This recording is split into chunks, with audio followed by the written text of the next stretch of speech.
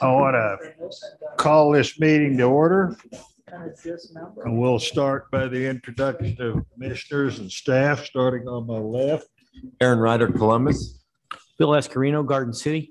Gerald Lauber from Topeka. Lauren Quayle Sill Hutchinson. Emerick Cross, Kansas City. Warren Gfeller, Russell. Okay, is Warren on? Yeah, I'm on. Uh, Not hearing He's anything. muted. can you hear me? Yep. I hear you. Okay. Troy Sporer, Gfeller, Russell, Kansas. Troy is there too. Roy there? He was there. I think Troy already spoke, but I think they both overspoke each other. Troy Sporer, Oakley, Kansas. Sheila Kemmis, commission support. Jason Nixon Commission, support. Dan Riley, Chief Counsel. Okay, that's what we have so far here. I think Brad will be along shortly. Uh, Do we have any additions or deletions to the minutes? To the agenda, there's no I, changes, I, I mean the agenda. no changes. No changes in the agenda. Do we have any deletion or any corrections to the minutes? Do you want to move both or do you want to move? Yeah, let's go ahead and move. If nobody has any objection, we'll go ahead and move both the April and the May minutes. Okay, Move to accept. If I could second, I've got a second. All those in favor say aye. Aye. Okay, at this point in time, we recognize and encourage any general public comment on non-agenda items. Uh, Does anybody have anything they'd like to discuss today that's not going to be on the agenda? Sorry. Thank you. My name is Tim Netto, live in Scranton, which is in Osage County. I have two real quick questions. Um, I visited Osage County Fishing Lake uh, two weeks ago, and I visited Pomona State Lake this last week. Um, Pomona primarily is overrun with Sericea lespedeza. I'm just curious if there are any plans of getting, spraying the noxious weeds? Or, or who do I contact in order to re- Chair. Brad Loveless, Secretary. Uh, So what we could do, Tim, is get with you and find out specifically where you're looking at and get with our, whether it's parks or public lands or where the ground is exactly. And with specifics, we can visit with you about that. Yeah. I didn't know if I needed Obviously, it's, it's a priority for us to deal with Sericea and, and, uh, and yeah, we're interested in, in what you're observing. Yeah, I didn't know if I needed to go to Pomona State Park and talk to the guys there. You can, that's a, that's a I mean, that's way close to to do me. it. It, it could be, could be on our public lands. Is it in the park? You, you're pretty confident? Yo, by the boat ramps and Okay, okay. So yeah, you could start to, you know where the park office is Sure. there, yeah. Okay, I'm Yeah. glad to. Thank you. And the second question, a year ago this month, the Supreme Court made a ruling, six to three, that a state cannot give a third party permission to trespass onto private lands. I contacted Pratt, uh, had correspondence with Nadia. The reply that I got back that from, she said, legal counsel for wildlife and parks, that this does not affect Kansas. State statute 3210 13, section C says a licensed hunter can pursue wounded wildlife on private property without asking permission. If you, the Supreme Court ruled that this is a violation of a property owner's Fifth and Fourteenth Amendment rights because we're not being justly compensated for somebody coming onto our land. So I was just curious. I didn't, it was just that the council or the legal council said it didn't affect Kansas. I don't know if you had anything to add to that, please. Well, I- it, it wasn't me, um, so I'm not familiar with the answer or the question. Was that the United States Supreme? Court? US Supreme Court Okay. Last Um, summer. let me get your contact information and I'll, I'll have to do some, some checking because I'm not familiar with that opinion. So I I will Okay. do so and get back to you if that's Okay. okay. Thank you very much. Mhm. Any other public comment on non-agenda items? Well, I don't know what your agenda is, but my question is, uh, keeping blue cat, like for example, from Perry that aren't over thirty-five inches, for example, I was fishing there last summer with the guy and we got thirteen blue cat in a few hours and from five to thirteen pounds. And I was wondering if there's any chance they'll ever like let you keep one under thirty-five. Well, the odds are yes, but maybe um, Mr. Rinky, is he, do you have, would you have something to add to that? Sir, can I get your name, please? My name, uh, Yes. Frank Klein. I live in Douglas County. Frank Klein? Yes. Thank you. Uh, I'm John Ranky, um, Northeast Region Fisheries Supervisor. And we have a lot of lakes and Perry's one of them that's really close to coming off the standard thirty-five inch minimum that we uh, apply as soon as the, the reservoirs are, have the blue cats in there to protect them till we have enough brood stock in the lake where they're spawning successfully and self-reproducing the lakes, in the, in the lake, so we don't have to st- continue stocking them. And Perry's one of them. Melvern's close to, and so is Clinton to uh, opening those up to more harvest. We just did it this year out at uh, Tuttle Creek and, and we monitor those populations every year. Matter of fact, our biologists are out there doing that right now with electrofishing boats. So uh, we collect that data throughout the year, analyze it in the fall, and then uh, present the recommendations for changes here at the commission. So we're, we're looking at it closely. I can't say what year it'll be. It could be next year. It still could be a couple of years down the road, but Okay. Yep. And my other question or concern is like I was at Marion Reservoir a couple weeks ago catching crappie and walked up on this guy and said, oh yeah, I've got seventeen crappie. Well, there wasn't two that were over ten inches. It's very, very small. And he's harvesting thousands of them out there. So uh, in my opinion, they need to be ten inches. And then my other concern is how many crappie are being harvested by this new technology. I know two guys that went to Milford and caught ninety-six crappie, kept every one of them. So, so. Wondered about that too. Mr. Thank you. Chair, we have the benefit of having um, Brian Sowards, our, our fishery director here. Brian, you want to comment? Yeah, I did. If, if the chairman wants. Sure.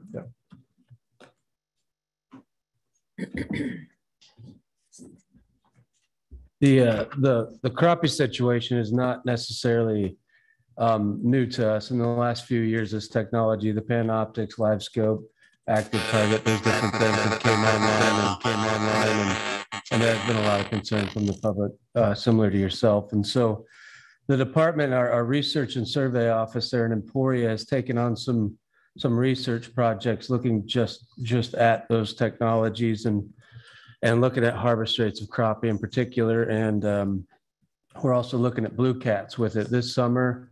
I think this summer or, or next, we're looking at how that technology might impact catch rates of blue cats as well. So um, the preliminary information was um, it, it really depends on your experience with the equipment, but but active target or, or live scope technology and traditional fishing didn't differ that much, at least in the research that we did. We, we are aware that there are some out there that are really good with that technology that can that can catch a lot of crappie, but we just haven't been able to discern uh, population level impacts yet. Any other questions? Well, thank you. Yep. Uh, Are there any other comments from the public on non-agenda items? Any from the audience? No, not that I can see. All right. Well, then let's move on. Let's start with the department report and um, Secretary Loveless. Thank you, Chairman Lauber, members of the commission. Um, Fiscal status, um, The governor's budget recommendations for our agency were passed largely unchanged, so we were pleased about that. Um, The approved fiscal year budget for 2023 is, is just under 100 million, um, 97.8 million for all of our divisions and, and collective efforts. Um, In addition, the legislature did pass uh, the governor's request at a 5% salary increase for uh, state employees that are not part of a defined pay plan. Um, This affected uh, or or benefited uh, uh, the majority of agency employees, but some law enforcement officers who um, are on, on a pay schedule were excluded from that increase. Um, So currently, I guess I would add that we're looking at law enforcement as well as some other divisions about uh, comparing their current pay to pay of our, their peers in our neighboring states. um, uh, Because we believe we're low and uh, we want to be competitive and, and compensate our folks as best we're able. And so we're working with Human Resources and Department Administration to evaluate those pay grades and, and see if, if we can upgrade those. Uh, As far as Park Fee Fund, at the end of May, um, the Park Fee Fund was at uh, eleven million, uh, one hundred thirty-nine thousand, or about eleven percent decrease over last year. However, compared to the long-term average, um, we're still higher. So last year was, um, we benefited from that COVID bump that we've talked about a lot. Um, but we're still better than the long-term average. So our, our parks are doing really well, accommodating more people uh, and receiving more revenue than we have for the, for the long term. Uh, Cabin revenue um, through the end of May was 1.32 million or about 16% less than a year ago, but again, higher than the long-term average. Wildlife Fee Fund that uh, so many of our divisions depend on. um, This has declined um, from fiscal year 21, uh, about 28%. Uh, They, those receipts are similar to that, that five-year average in terms of um, uh, Wildlife Fee Fund status. Through May, our total annual receipts are 29.3 million. And um, the balance in the Wildlife Fee Fund at the end of May was uh, just over 30 million. So very healthy. Uh, The boat, boating fee fund uh, is what we use to provide um, safety, education, and access infrastructure to protect and support the boating public. Year to date, our receipts are uh, 1.116 million. Um, That's less than last year's, uh, but again, above the long-term average. Um, We are right now, this is end of fiscal year, so we're wrapping up uh, fiscal year 2022 and preparing for the start of fiscal year 2023 on July 1st.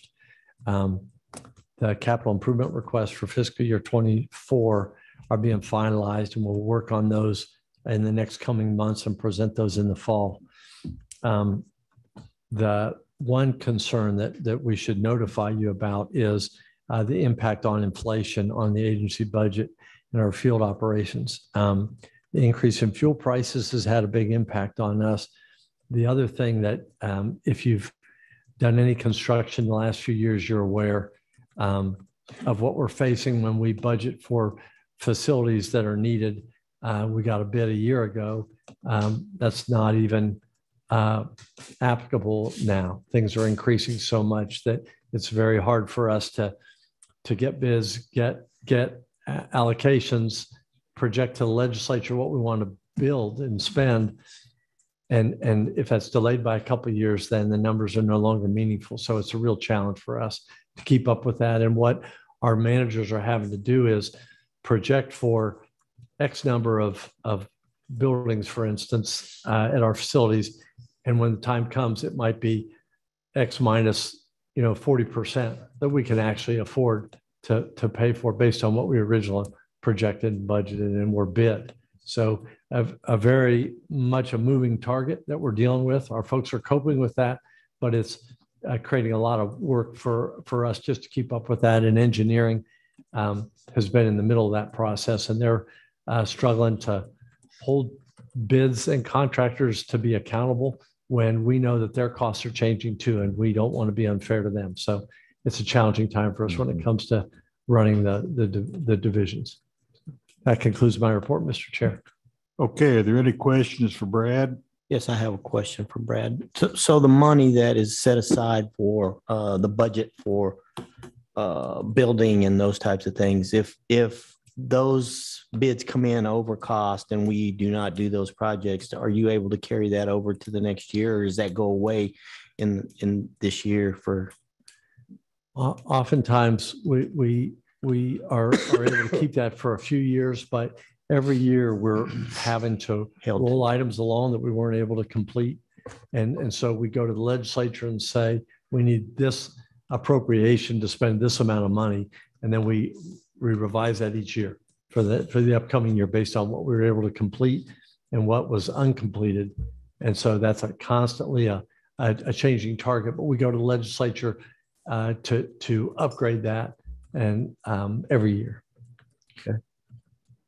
Thank you. Any other questions for Brad?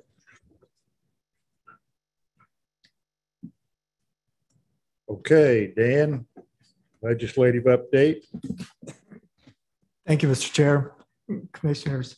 Um, As you all recall, one of the pieces of legislation that came out of the last session was House Bill 2476. And that's the bill that authorized us to uh, establish some distinctive license plates um, as a fundraiser and a way for people to be able to, to uh, present their support for wildlife and parks. Jason, would you pull those images up for me? We showed you the images of the, of the design versions uh, that we had initially and, and what we kind of represented the, the project with. And since the time of uh, showing you those images, we've had contact with the Department of Revenue, which is the agency that's responsible for the oversight of the, all the distinctive tags that are produced Kansas, since they deal with licensing motor vehicles. Uh, What we have learned is that we, and the, the folks at Revenue even talked about how great and graphic and beautiful our tags are. Unfortunately, our designs did not pass the clarity test because what they do as the initial part of the process is take um, prospective distinctive tags out and run them through law enforcement review to find out because basically the purpose of a tag is to be able to identify a vehicle. So the, the color combinations have to meet the clarity standards. And unfortunately, our tags as designed do not. So that's that's not an endpoint. That's not a that's not a wall. That's just a hurdle. So what we're going to have to do is is take the guidance from revenue, basically, and they're going to send us a book with examples. But basically, as they describe it, most of the distinctive tags have got a light colored, fairly solid background that doesn't conflict with the black letters and numbers. Because the standard color, the only color that the tags can be printed in, in terms of the numbers and letters are black. Um, that example with the white down there looks great. And in fact, that was the only one that passed the clarity test, but you can't get white numbers and letters. So that one was kind of an albatross to begin with. But so, so what we're going to have to do is basically re- redesign the backgrounds so they don't conflict with the, the black numbers and letters. The one thing that we can do is retain the graphic, you know, the, the chickadee, the buck, uh, the bass, although the bass is probably going to have to be smaller and lighter colored because that's part of the problem in terms of the distinction there. Um, does that mean I talked too long, Jason? No. The Just another timer, issue coming up that we the had. timer earlier. went off. No. Okay. Um, So, so we're gonna have to rework the background. The one thing that I did find out that is up to our discretion is the color for the, the other lettering on the plate. The Kansas at the top can be a color of our choosing. Um, and also the lettering at the, on the bottom can be a, a color of our choosing. So if, if, uh, and I even asked about blaze orange, because that's the first color, you know, if, if highly visible is, is one of the criteria, you know, that's, that's obviously a color that we like and we're used to. So Um, But anyway, we, we've got some redesign process to go through with that. They're going to provide us with a criteria of the requirements that we have to meet to, to move this project on to the next phase because we don't have that list at this point. Uh, Basically, what we have at this point is legislative approval. Um, Also, the tags as approved by the legislature are only going to be for passenger class vehicles. We're not going to have a tag that's appropriate for an RV or a trailer. So the park passport is still going to have to be very much in existence. You know, for those categories of vehicles, we will not have a, a, a specialized tag that, that is suitable for them. And also we'll have to have the park passport, obviously, for people that don't choose to buy one of these tags.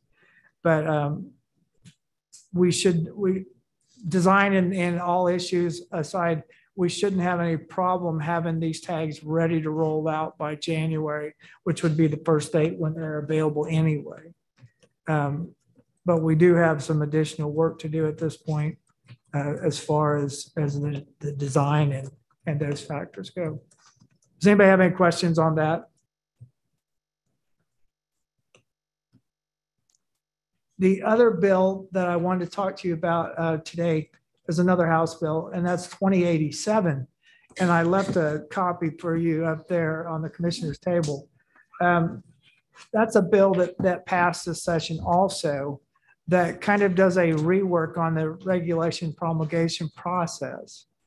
And um, it's a little bit difficult to characterize the, the kind of atmosphere there is between the legislature and the regulatory process right now because um, at times I would say it's very hot, and other times I would say it's very cold.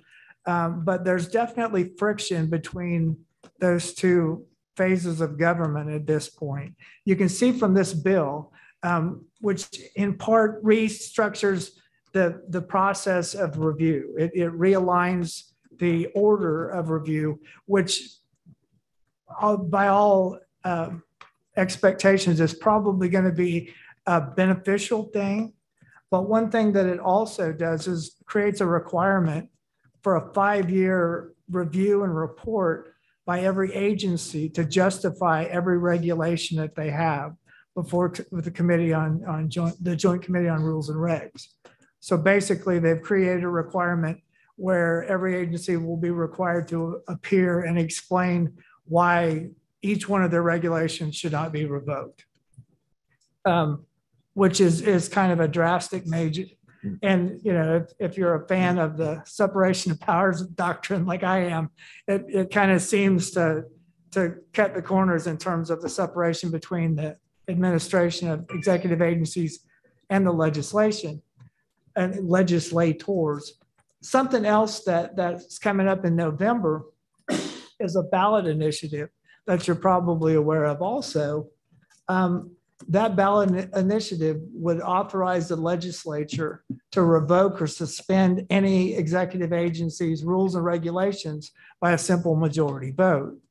So the business of promulgating regulations or or deciding those issues in terms of how to best administer the business of an agency would be completely taken out of the hands of the agency because that provision would give the legislature the ability to revoke anything without any agency involvement.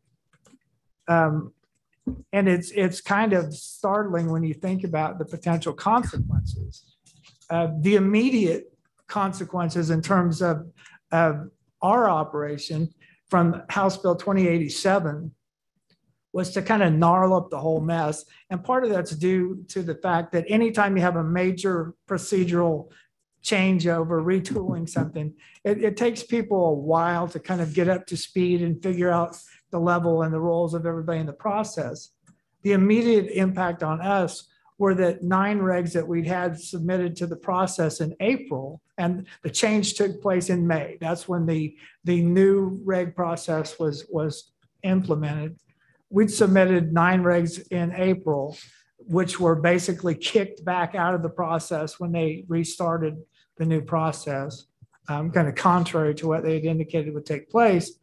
And since that time, the process has been kind of a gnarled up mess just because everybody's trying to figure out exactly how the new scheme is, is going to work. And those regs that had been started in April are still in the process. And you are all very familiar with how dependent we are on the ability to, to change our regulations as needed to make, to make the adjustments that we have to um, oftentimes on an annual basis. So it's, it's critical to us how well the promulgation process functions and our ability to get information in there and regulation changes out of there. So it's, it's been kind of a, like I say, I would best characterize it as kind of a gnarled up mess at this point. Um, hopefully the, the immediate impacts are something that are going to kind of dissolve and fade out as people get accustomed to the changes. So I think that we'll get back to something resembling what the what the prior status in, in terms of timeframes were. Although it's always been a slow and frustrating process to promulgate a reg. That's nothing new. It's it's always taken a lot more time than it seems like it should.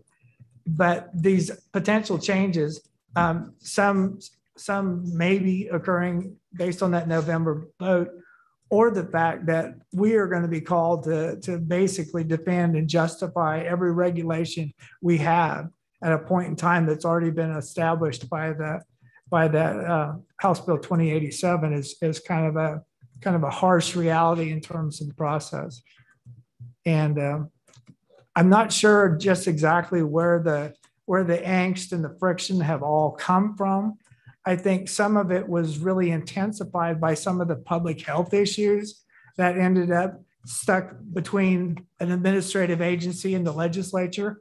And I think that has kind of fueled some of the attack that's that's taken place here as far as the, the assault on on uh, an agency's ability to promulgate their own regulations. And some of that hostility has definitely spilled over into that review committee, the joint committee that, that we have to appear before with every set of regulations. So it, it's not that the legislature hasn't had access to the process in terms of uh, comment or or some impact on regulations, you know, with the prior procedure, uh, but definitely the ability to revoke or suspend any regulation without any involvement of the agency is, is a pretty bold step further than they've ever been before. Is that going to require a simple majority or a super majority? I thought I read that it was a super majority. I don't believe so. I think it's a simple majority. I think it's a simple. Um, and that, that one is on the November ballot. Assuming this passes, I'm assuming we're probably going to have to have a person or persons preparing a template format to be able to make this presentation every five years. Now, is it five years and you don't have to do anything, or is it a certain amount of regulations each year for five years? I think the way it, it appears to me in the statute, and, and we are projected to be basically five years out from this time. So our, our time is not going to come up just because of where we are in terms of the agency numbering system.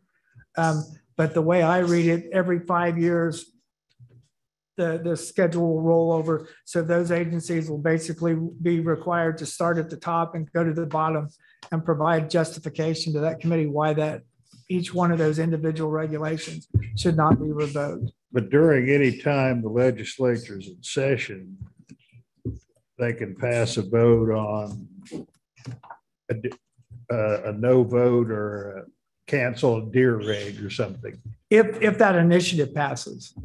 On, under, under the current law that's already passed, the House Bill 2087, we will be required to go before that committee in five years and justify the existence of every regulation. But if we have. the initiative passes, They, they can do it on any schedule, anytime. on a whim. Yeah.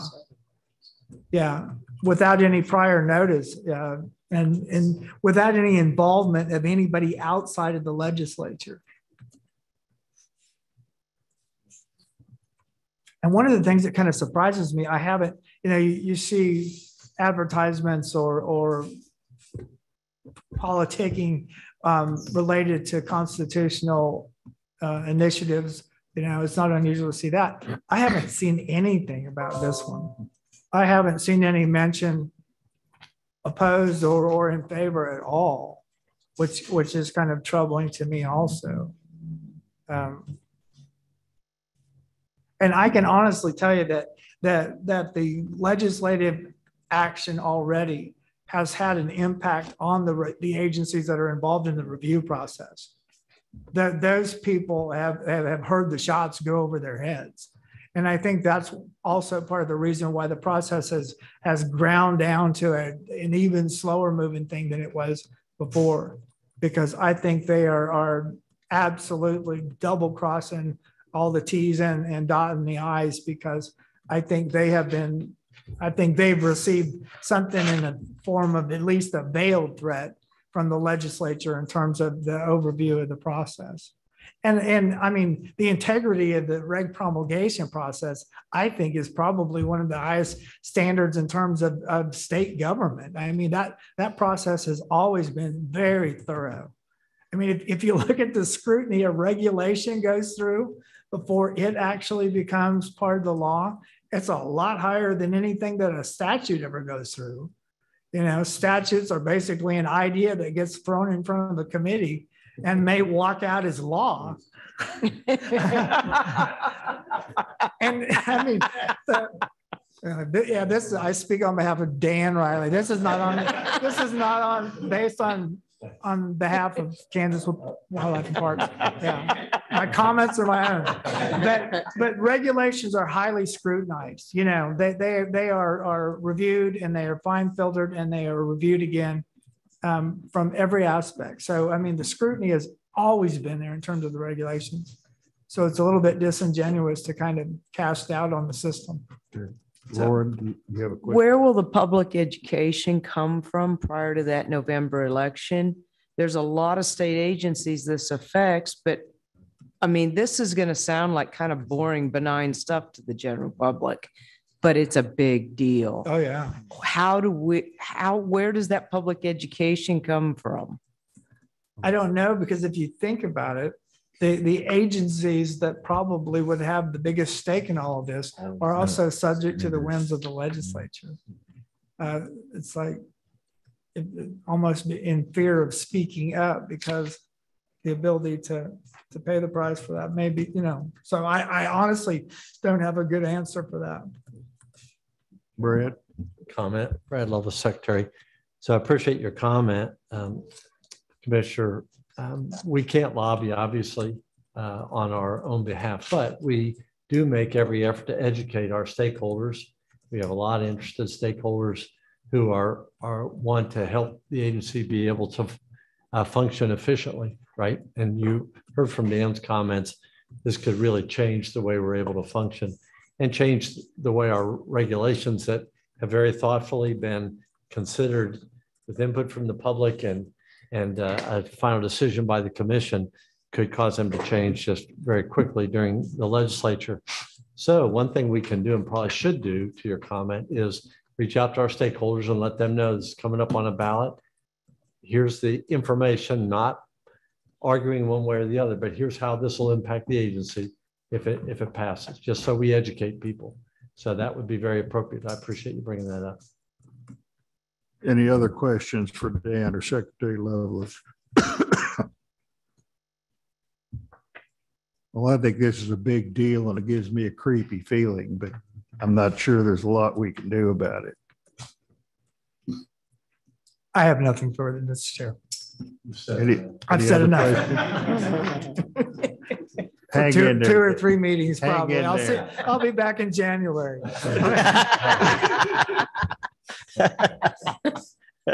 All right, if there are nothing else on the legislative update, let's have turkey regulations.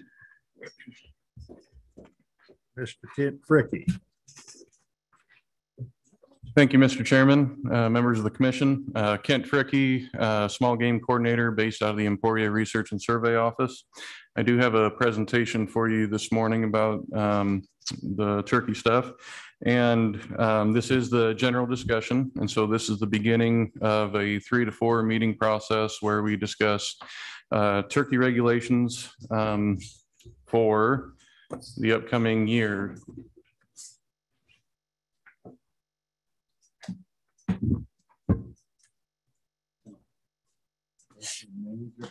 Oh, there, it worked. It worked. There we go. And just as a quick reminder, uh, during 2021, last year, we made three uh, changes or discussed three primary topics uh, for turkeys. We increased the spring turkey youth season eligibility to 17 years and younger. And as you'll remember, that was a uh, uh, department-wide or for all uh, season youth seasons, we tried to do that to make consistency. So we increased that from uh, 15 to 17. We set the 2023 spring and fall season dates, and I'll mention those in a in a, another slide or two.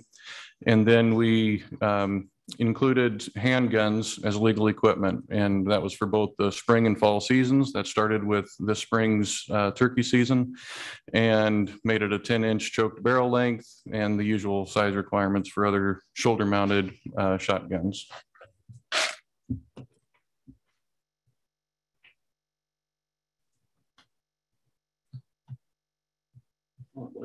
Before we started.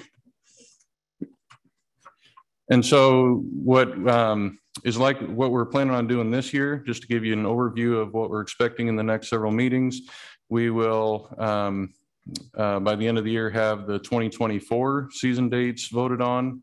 We will discuss and go over the 2023 spring and fall bag limits. And then again, we'll talk about this more, but um, we'd like to get the commission's feedback on valid units that are contained in the unit four permits, and we'll get more details into that. And so to start off with season dates, there isn't an on off button I need to push, do I? Is it on? Either way, I'll motion to you. Um, so as just a really brief reminder, in terms of the spring season, we have a youth and disabled season that always begins uh, April 1st under our current structure. And they get, uh, youth disabled get a full weekend. And then archery season begins on the Monday after that first full weekend. And they get nine days. And then um, the regular season, which includes shotguns, begins the Wednesday after the second full weekend. So youth disabled get a weekend, a full weekend. Um, archery gets a full weekend, and then the regular season starts on the following Wednesday. And then beginning in 2020, the fall season was changed to from October 1st until J January 31st was reduced down to a 41 day season from October 1st to November 10th. And so uh, this year, um, April 2022, uh, this is what our season structure looked like. Um, this is one of the earlier uh, starts to the, to the regular season, and you see where youth in blue, archery in yellow, and youth, and the regular season starting on the 13th. And uh, again, in 2022, we will have that October 1st to November 10th uh, fall season. Um, again, for 2023, this has already been um, approved last year. This will be the earliest start that we can have before the, the calendar starts repeating itself every seventh year. And so next year, what we're looking at is uh, youth disabled season, the first and second of April, followed by nine days of archery, and then the regular season starting on April 12th.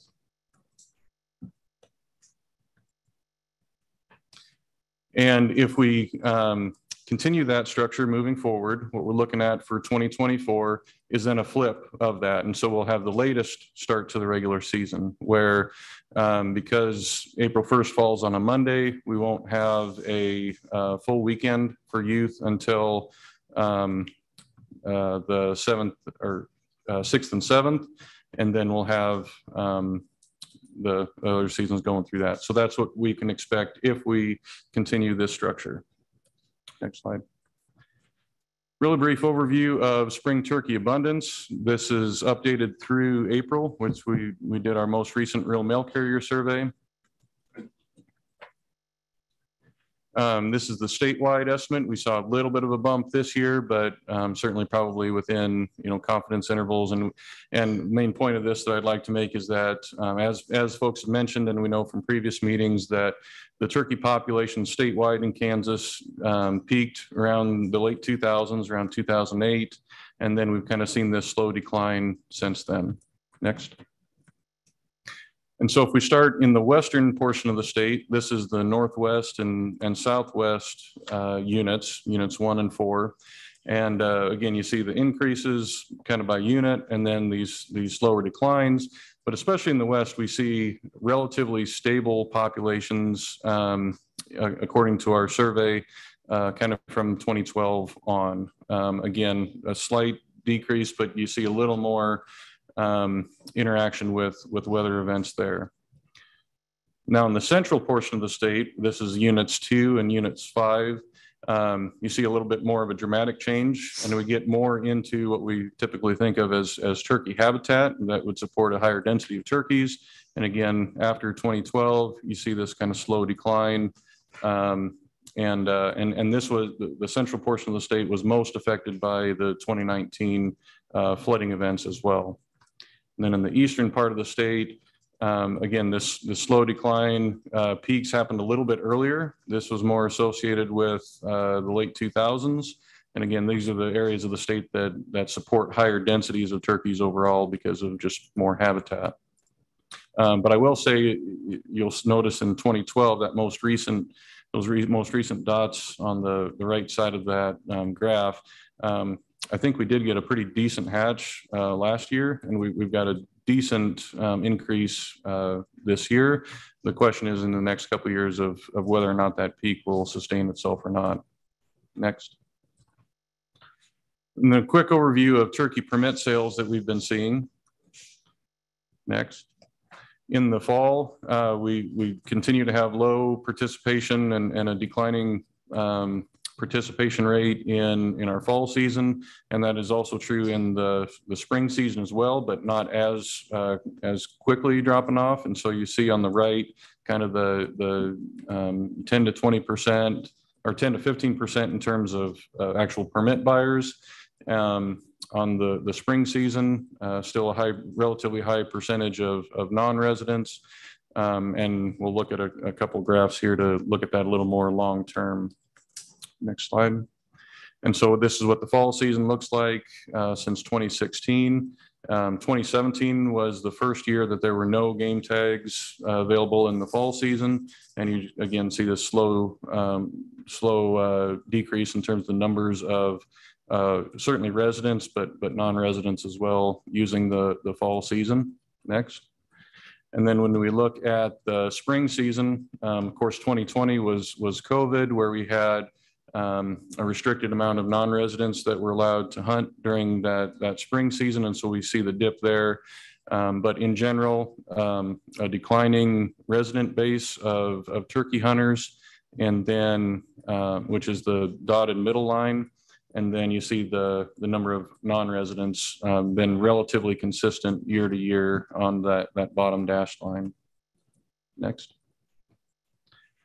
And uh, nothing really new here, just, just a reminder in terms of bag limits on the right, we still have, uh, for 2022, we had um, uh, two bird bag limits in units one and two, the Northwest and North Central. And then the, what's circled in red there is the one bird bag limits in those three units. And then of course, unit four in the Southwest has a, a one bird limit as well with a limited draw for those, those 500 permits. Next. Oh, and I will mention too, there, um, as of this morning, there were no hunting incidents uh, reported during our uh, turkey season that we know of. So, which was which was good to hear. Um, and then an issue that we haven't brought to the commission before, but we would appreciate feedback on. Um, for for several years, some of our biologists have been interested in um, uh, whether or not the unit four permits should be allowable to be used in adjacent units. Um, so currently unit four, the Southwest unit there in dark gray is, is a 500 permit draw system that happens every uh, January, February is the application period. Half of those by statute are required for landowners that they apply for. And then the, the remainder, whether that's, whether they get used or not, uh, the remainder can be applied for by any uh, Kansas resident. Currently, if you draw one of those permits, it's certainly valid in unit four, but also in each of those adjacent units, units one, two, and five, which are in the light gray. And so um, we, uh, we're just asking thoughts at this point in terms of your thoughts on restricting that to be only allowed for unit four. Um, some of the comments that we've heard in support of this change would be that um, with more people traveling more for, for turkeys, even among just Kansas residents, that if, um, if they're restricted to unit four, then some might not be as likely to apply for those tags that they, you know, might just be able to take advantage of them in, in those adjacent units.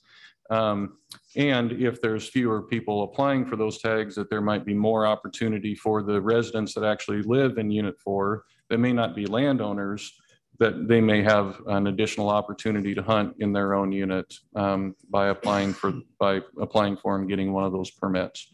And so, um, again, no recommendations on on any of these, and certainly not this yet. We, we will bring those forward to you in August, but I would appreciate any thoughts that the commission might have on that.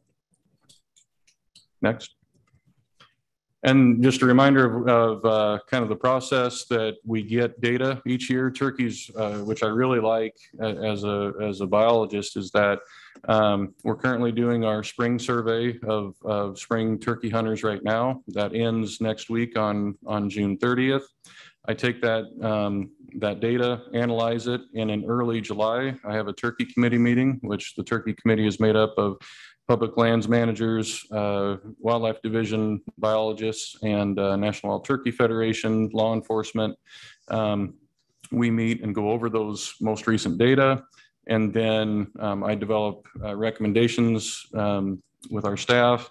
And then those will present, be presented at the August 4th uh, workshop session. At that meeting, I'll have additional information in terms of population trends, harvest estimates, and our staff recommendations. With that, Mr. Chairman, I'd be happy to stand for any questions. Are there any questions, Ken, from the commission? Do you differentiate between permit buyers and hunters? Yes. Or is there? Yes. So the numbers presented here are permit buyers because those are pretty easy to get from our, our licensing system. Um, those give us you know, all the associated information you get from permit buyers. But then in our survey, we ask, did you hunt on your permit? And there's obviously a, a number that, that don't.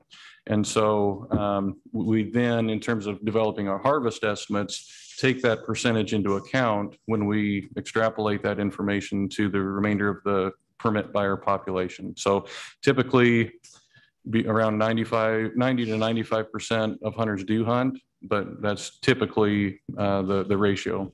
I'm just curious if that's changing because with the declining numbers, I know that there are a number of people that are going ahead and buying permits, but with no intent of hunting. Mhm. Um, and I'm just curious Yep. when you show that graph Yep. in the future, what the difference between those two Yeah, is. So- and, and, and so each year, um, and I can try and make sure I have this for, for our August presentation, but, um, again, we have a, a, we reduce our permit buyers down to active hunters. And then that active hunters is what we use to, uh, calculate harvest, hunter success and all those associated parameters.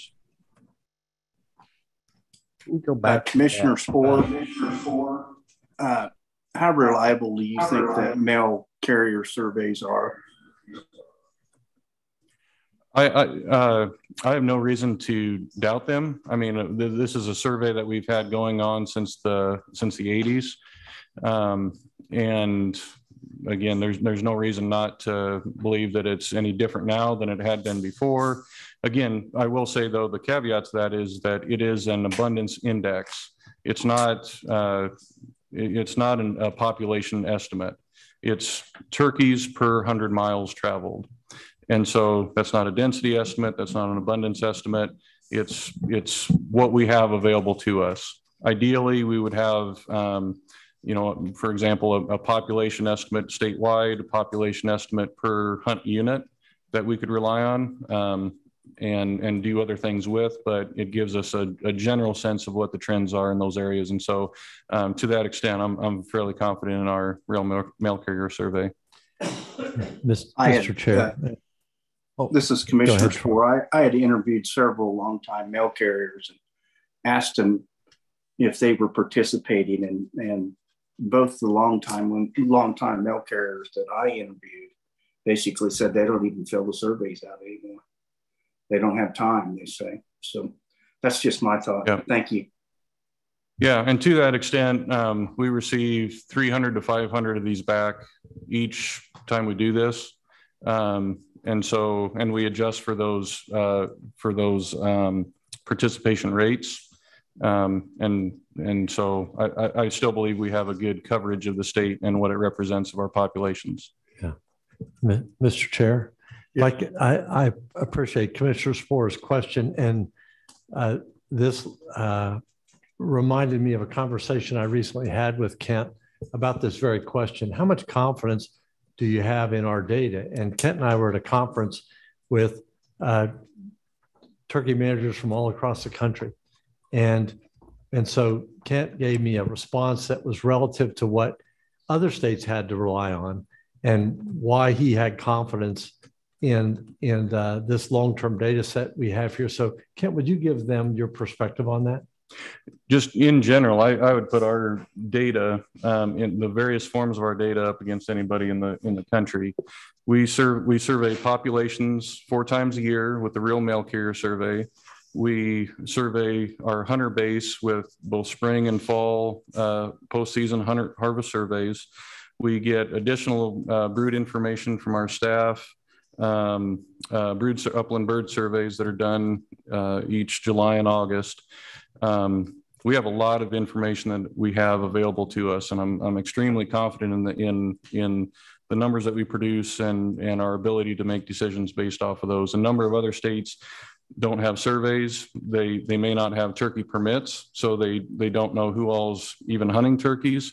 Um, they don't have brood surveys uh, and, and have to use alternative means, if anything, for those. And so I'm really confident in the amount of data and, and the, the type of data we have to make decisions. And, and Kent, last thing, comment on the value of the fact that so much of that is long-term. You have comparability. Talk about that in a minute. Yeah, absolutely. I mean, the, the fact that we can, just as the rural mail carrier survey as an example, compare 2022 data to 1986 and 1995 in, in some form or fashion. Is it, is it the best possible? No, but we rarely have the best, best possible, but it's long-term and, and we have that ability to, um, to, uh, to make those comparisons in at least some form or fashion. And so, um, again, I'll just come back. I'm really confident in, in what we have available to us. Mr. Chairman. Any other questions?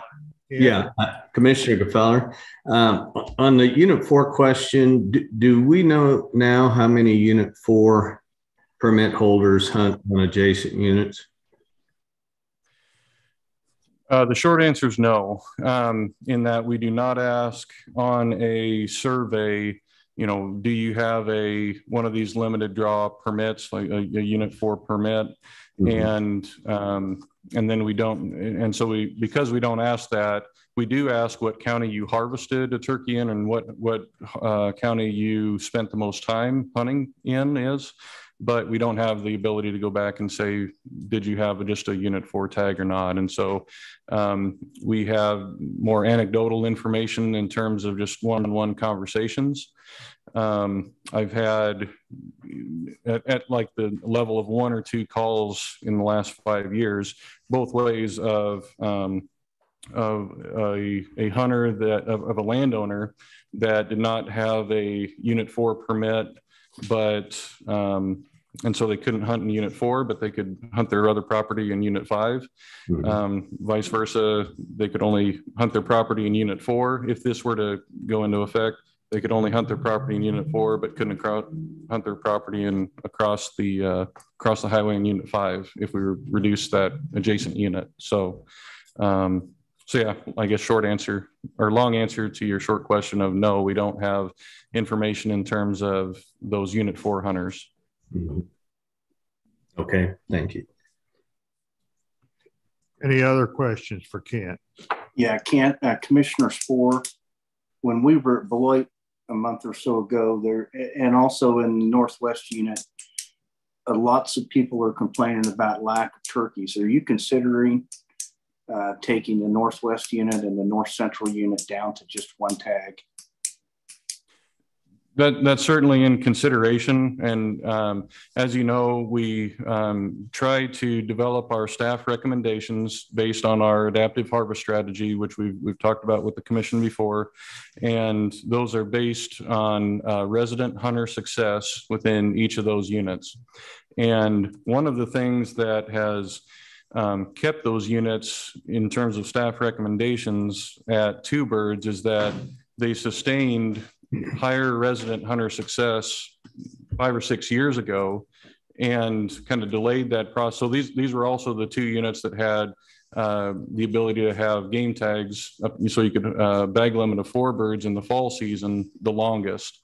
And so be, because of that, um, we're still working down the steps in terms of, um, of reducing the on the spring side. Um, but that's certainly a, a, consideration, a concern that I hear both from biologists and um, and hunters out there. And so, I, I, so yes, it's certainly on the the consideration for this year. Mr. Chairman. Yes. Yeah, Commissioner Gfeller again. Um, we had quite a bit of conversation this morning about uh, the turkey population, and probably the the one thing most people can agree on is that it's declining. Um, how steep it is might have some different opinions. But anyway, we had uh, a lot of discussion about different ideas that um, we might want to consider in terms of trying to reverse the trend. And since we really can't uh, pinpoint, I guess, exactly what what's causing the decline. So uh, in, in the future meetings, if if um, you could bring us discussion around shorter seasons, smaller bag limits, predator pressure, and and uh, solutions to that, if if that are is an issue, and any of the other things that were discussed, or even ideas you have that weren't discussed this morning. Certainly. Uh, Commissioner Sporer. Uh, Kent, you know, maybe we ought to talk about discontinuing that fall season again. Maybe that needs to be part of it too. Be a little bit proactive and and go from that standpoint and maybe getting rid of that fall season. Thank you. When you're doing your your computations for your adaptive strategy, if you've got decreasing hunter numbers, but the ones that are still going are being fairly aggressive, their success rates may not change or go up. And yet we're really hunting less and less because people are voluntarily dropping out. So how do you how do you track that? If you go just on success rate, it's not a true picture because it's not 200 people being successful, it's 100 people being successful. How do you accommodate for those decreasing numbers? Is that part of that algorithm that you go through? Yeah, and as I mentioned, we only figure in active hunters. And so granted, if those active hunters are more successful, you, you would potentially have kind of some higher success rates. I understand what you're saying there. Um, but at the same time, it, it one of the things we I don't believe we can account for is is hunter experience and ability. I guess um, if uh, if you have fewer hunters and they're more successful, is that because there were more birds, or is it because they were just better hunters? Um, and so uh, it's just really hard to take that into account. The other thing that I'll mention too is that um, as in most of our uh, game seasons in Kansas and, and across the country, we're, we're often trying to balance uh, hunter opportunity and hunter satisfaction with um, with the biological needs of the, of the species. And I'll say that while um, there's certainly potential for uh, harvest, spring harvest of males to have a, a negative impact. Like that, that also hasn't been the primary assumption in the last 20 years of, of turkey management. And so that's something that um, as a general research community and, and community of turkey biologists is still a, a big question mark of whether or not that's actually having an, a negative impact or not.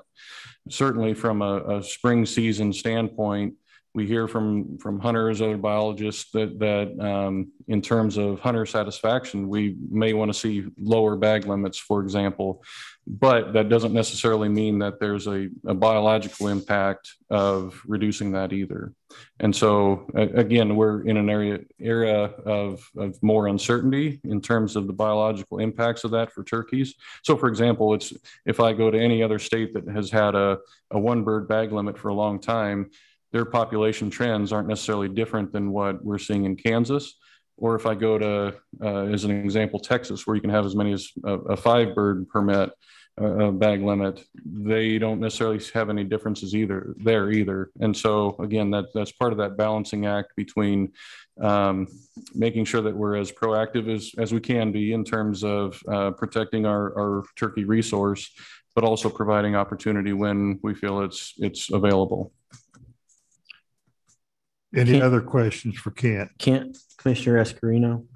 Uh, I look, see here that you're looking for feedback with regards to restricting the, uh, unit four and not being able to utilize the, the remaining parts in, in the other, uh, attached units, adjacent to units.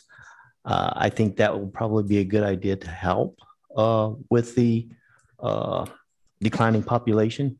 Uh, and, and I think that recommendation is, is something that I would be good with. Okay, thank you. Mhm. Any other questions? Well, Kent, you want to move on to prairie chickens? Yep. Um, so the last time I talked with the commission about uh, lesser prairie chickens was back in March at our March meeting. And since then, I was I was hoping I could have a um, an update for you in terms of what the Fish and Wildlife Service had had finally decided on. Um, we do not yet have that decision, and so I don't have that much of an update. But I'd certainly be happy to answer questions. Um, but just as a as a brief reminder, uh, lesser prairie chickens were listed as a threatened species uh, back in 2014.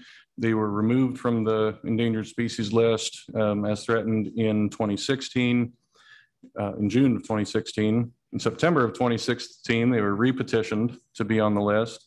And then um, the in uh, June 1st of last year of 2021, the Fish and Wildlife Service proposed uh, lesser prairie chickens uh, under the Endangered Species Act as threatened in areas including Kansas and then as in, endangered in portions of New Mexico and, and Texas.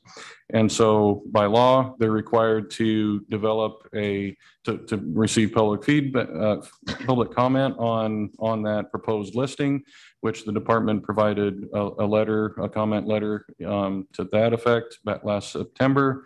And then by law, they were uh, supposed to, by June 1st, come up with a, um, a decision on that proposed rule, whether to um, enact it as proposed, um, as, as threatened in Kansas, whether to say that it was warranted but precluded for, for other things, and uh, or that it didn't require um, listing.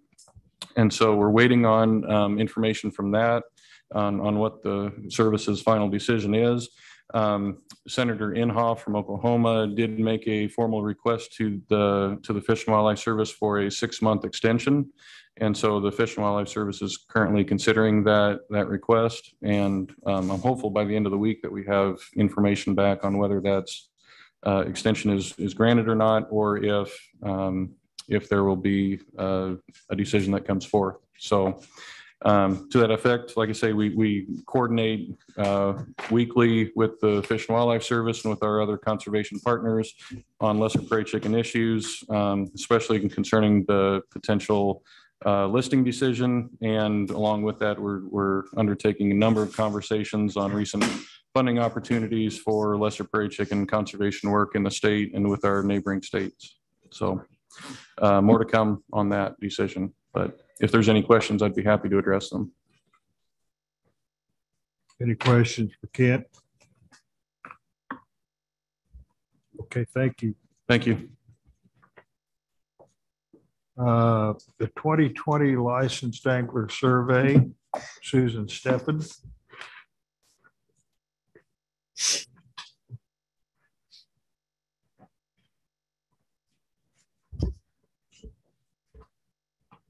I have a presentation here. Jason's going to get that loaded. Good afternoon, Mr. Chairman and members of the commission, and of course, the public joining us. So my name is Susan Steffen, and I like to kind of explain what I do. I don't speak in front of the commission very often, so I have kind of a unique position.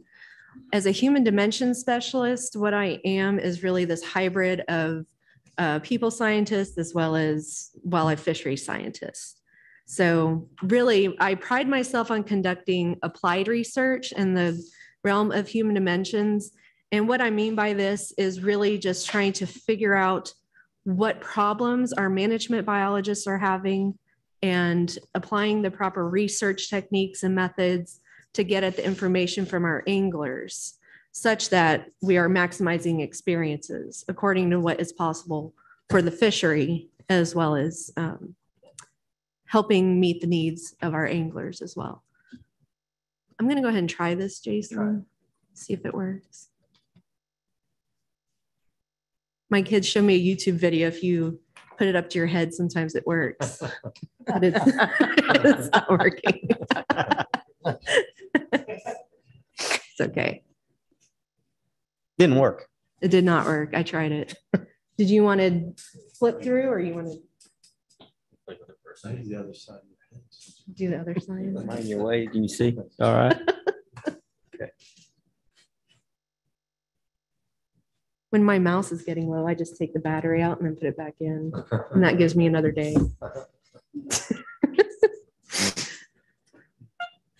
Good news, Kent, it's not just you. Blaming on the ghost of Miller, because this is Miller's. Ah, that's what. Okay, no problem.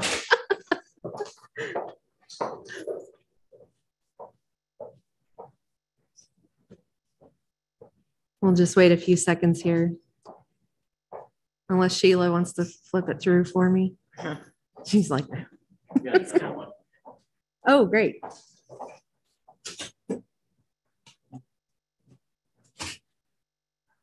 Yeah, I guess I'll just fill in a little bit of background information about the licensed angler survey. So we have um, this licensed angler survey that we do periodically between five to every seven years. And I do have a slide later on a little bit with more information, but the this one was done in 2020. Well, it was done on the 2020 batch of, of people. Thank you. And um, we've, uh, I joined the agency in 2009, and then I've also done a survey in 2013. So this is something that is done periodically to really just help us ascertain some trend data and get at basic information about who our anglers are, what they're fishing for, where they're going, how often, as well as an opportunity to ask some special questions. Hey, it works. right. So we have surveys that we've done all the way back through 1975. And the one there in that brownish color is one that I've done since I've been with the agency. And hopefully I will have a few more under my belt in my career. The 2020 survey had some repeat questions pretty much for trend information. So I was saying earlier, um, information on angler demographics, fishing participation and characteristics, and some of those special topics that I will go over today include the importance of some of our fisheries programs and services, and also maybe some factors that prevent or help people uh, participate in fishing, as well as why or their fishing motivations. And then, like any good researcher, in light of a unexpected year of, of COVID, I wanted to take advantage of that and learn a little bit more about how COVID impacted um, fishing participation in Kansas. I will not be presenting the whole gamut of information and results from the survey, but there will be a report later on that will be available to, of course, the commissioners and members of the public and agency as well. I'm going to spend a little bit of time here on methods because I heard some of the conversation we had surrounding uh, the turkey information, and I just want to really impress upon you that uh, survey data is is priceless. It's worth its weight in gold. But we have very rigorous procedures and methods that we go through as social scientists to make sure we are getting an accurate representation of the population. So some of that includes, uh, like I have listed on the slide here, what's called a mixed mode survey. And so for this particular survey, I selected 10,000 people from random from our license file, and that included both residents and non-residents.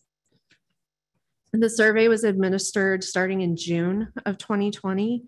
And that first invitation to take the survey was received as a postcard with a link to take the survey. And so that multi-mode or mixed mode method that I'm talking about, we then followed up with the same people that um, the ones that had responded, we did not repeat, you know, send information to them, but we did keep track of people if they did or did not respond. So that's how I knew who to send follow-up questionnaires to. So then in September and November, if need be, we sent up to two copies of that mail questionnaire. And really those multiple waves of surveys are meant to really get at uh, even those people who are reluctant to maybe complete the survey. The idea there is that they uh, they they give in. So. Okay, I have several slides now with results, so I'll just kind of go through and explain these. Um, we had just under 2,000 surveys returned out of that original 10,000. Now you look at this response rate, okay, 22%. That may not seem like very much, and it's not but that is the norm. I have a community of practice with other HD specialists across the country, and we are seeing the low response rates across the board, no matter what state, no matter what animal or creature you're studying. The fact is, people are just surveyed and surveyed to death. And so, um, you know, you go to the store and you get a receipt and it has a survey. Mm. You, I don't know about you, every time I go to the doctor, then I get an email, fill out this survey no more Stormont Vail. Thank you. Um, one of the ways that we can kind of adjust for that non-response error. So what non-response error is, we suspect sometimes that people that don't respond to this survey may be different from people who do respond. So we have to account for that by doing some um, some checks with the data. So with the variables I have at my disposal based on information I know about everyone, in my sampling frame, I look at those variables and compare those two. And I found that people that were more likely to respond were older. So they had a higher average age, and it was like 54 versus 44 for an average age respondent versus non respondent. Um, and then even just the presence of an email address in our database. People that had an email address were more likely to respond. And then I also looked at residency. So residents were more likely to respond than border non-residents, so our surrounding non-residents. And then they were more likely to respond to all the other non-residents. So one of the things that we can do if we know that there are certain factors that make somebody more or less likely to respond, I can apply some weighting to the data, like, you know, weights, weight the data and help account for that non-response. And that will make it a representative sample of the population. Most of our anglers are males, and this is pretty consistent back to the 2013 and I, I believe the 2006 survey as well. 24% um, female, this is holding pretty steady within a percentage or two. And then I talked about my community of practice folks we've um, figured out a way to ask about gender in a more inclusive way. So this is the first time I've asked that question, but we do have a small percentage or about 1% who don't feel comfortable telling us what gender they are or are non-binary slash other. So we'll keep asking that. Fishing participation and characteristics. The survey question here was which of the following fishing methods did you use in Kansas in the previous 12 months? And most of the questions as a form of reference refer to in Kansas in the previous 12 months to kind of standardize um, that time frame, no matter when that person got that survey. These percentages are pretty consistent with the 2013 survey, with one exception. The 2013 survey, there were only 13% of people who um, went fishing with non motorized boat, canoe, or kayak. And in the 2020 survey, we found it to be 19%. The others, limb lines, float line, hand fishing, and ice fishing decreased, but motorized boat and bank fishing stayed about the same percentages. I don't know about you, but that matches what I see at least when I go on the lake is certainly more kayakers and non-motorized boats. How many number of days are people participating and where?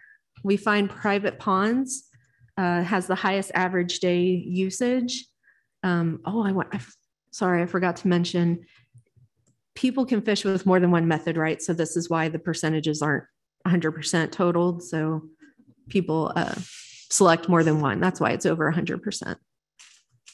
Okay, going back to our days of participation, private ponds by far was um, the highest percentage, or I'm, I'm sorry, the highest average, and reservoirs were next at 6.1 days in the previous 12 months all the way down to uh, walk-in fishing access or WIFA, which was a little bit less popular. And overall, uh, the average days of participation was 28 days, which is pretty high. Um, but we got a big standard deviation there. So that helps explain some of it. Oh my goodness, when I conduct this survey, the very first thing that a lot of the fisheries folks ask me is what are the preferred species and i i came up with the the ranking here and i have it from top to bottom from most preferred to least and largemouth bass continues to reign as number one crappie is number two three is channel catfish walleye is the fourth most preferred and blue catfish are the fifth most preferred preferred the way that I analyze this question is that um, I apply weights to the various rankings. So if somebody mentions, hey, crappie are my fourth most preferred species, that is not weighed as heavily as if somebody puts crappie as their number one. So that will help uh, adjust for some of those preferences in there if you're wondering where that weighted rank score comes out.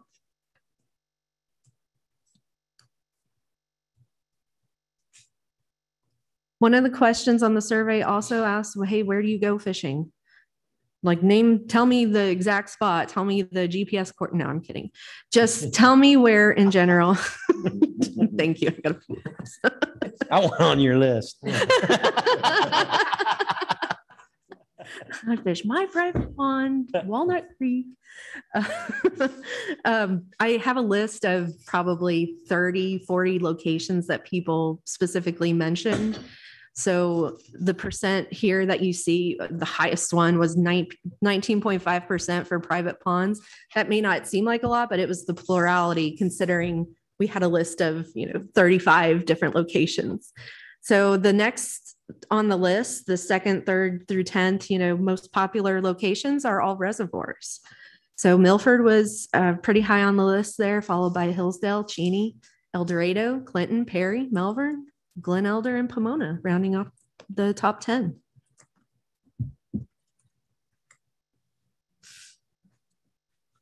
All right, so this is kind of a busy looking graph here, but what I want you to kind of take away from this, this question is pertaining to maybe some factors that will help people get out and participate more, or factors that may be more of a constraint or limiting factor.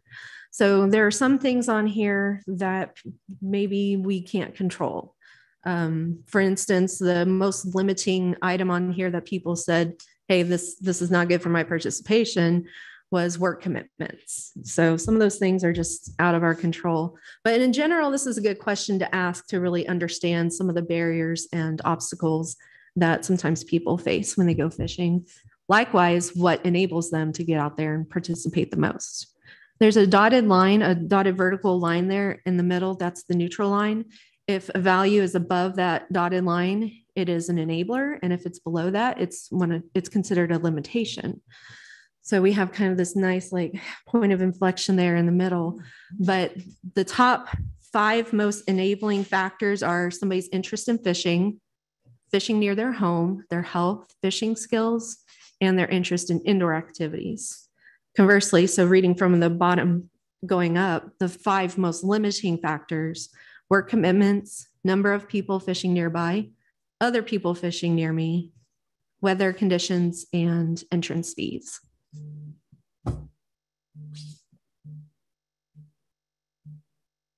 It's also important for us to understand why people go fishing. Asking people for their motivations is a really good way to get at this information. Again, you'll see a dotted vertical line that represents almost like that neutral value or level of importance that's kind of in the middle. If you see a value above that, it's an extremely important motivator. If you see below that dotted line, that is a less important motivator. Many of the motivations that are on the upper end here are um, more related to um, getting out in nature. So, like the first one is just for the fun of catching fish. Number two, to be outdoors. Uh, relaxation, to be close to nature, get away from my daily routine.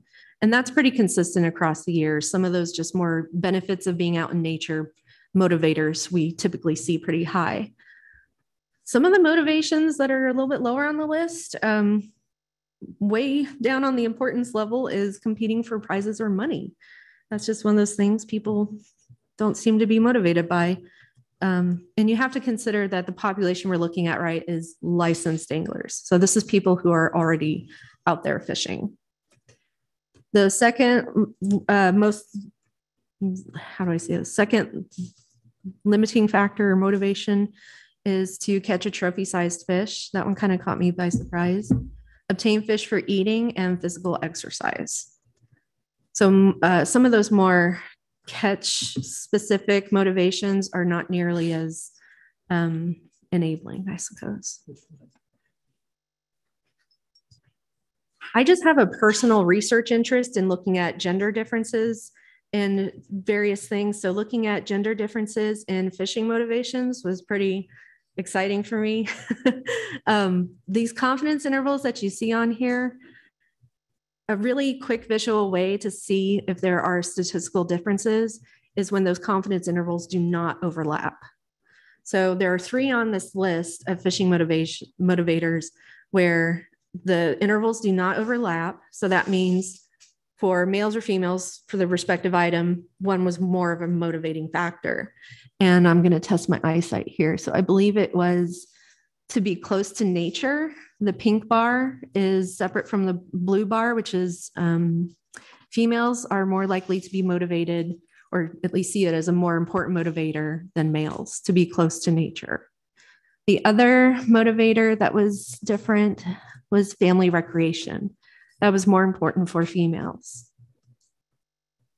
And the last one for the challenge or sports, that was more of an important motivator for our male anglers. I just find that pretty interesting to go through and analyze. Um, I guess I should also mention so, part of my job is really to help interpret this information and tell our fisheries managers and administrators how they can apply this information. So, in the instance of maybe setting a marketing campaign or something, we can have some materials that are a little bit more geared towards these different personas or um, you know realizing that family is more important to females. Those are just some of the ways that we can use this information. The fisheries division has gosh i think i had a list of 32 programs and services that at the time of the survey that we offered for the public so out of this list of 32, I'm going to present the slides with the top eight, as well as the least rated, so the bottom eight um, programs and services. So this time that neutral line is going to be a dotted line going across that horizontal line of moderately important. So if you see a value above that dotted line, that means it is extremely important. And if you see um, the mean value below that dotted line, then that is on the not so important side of things. The ones that I've highlighted here, the programs I've highlighted in the yellow circle are ones that were significantly different. So let me back up and mention that the survey I'm talking about is uh, licensed anglers, right? So the general licensing anglers. I also asked our fisheries division staff what they thought of the importance of our fisheries programs and services. And that was really interesting as well, because if we have this mismatch, right, we could be potentially putting resources into a program that uh, maybe is one of our favorite programs, but is not useful for the public or important to them. So it was pretty interesting to see this. This was a statistical difference. So um, anglers are represented by the blue bars and the fisheries division staff are represented by the, the reddish brownish bars. Um, our staff, our KDWP fisheries division thought that enforcement of regulations was more important than the public. Conversely, Operation Game Thief, the public thought that was more important than our division. And then as someone in the research division, I have to admit, yes, I think fisheries research is very important, but we thought research was more important than the general angling public. Okay, so now the bottom nine. What you'll notice is there are no statistically different um, programs here. So, I mean, some of them came pretty close, but I use a p-value of 0.10, so it's a little bit more um, forgiving, I suppose. But the most of these were rated below that moderately important level. So these are the bottom programs that, for the most part, we're in agreement with the public, our people and the public, that these are some of our least important programs. Some of these surprised me, but I think what you'll see is several of the items mentioned on here are more of like a um, uh, like an outreach material. So our newsletters, the mobile app, the magazine, um, GPS coordinates of fish attractors, Facebook posts. The mobile aquarium really surprised me because I tend to think that's a very good um, public outreach uh, that that our division does, but apparently it's not very important uh, to to the people in the survey, as well as the Master Angler Award. So those are ranked from uh, left to right, from highest to lowest mean.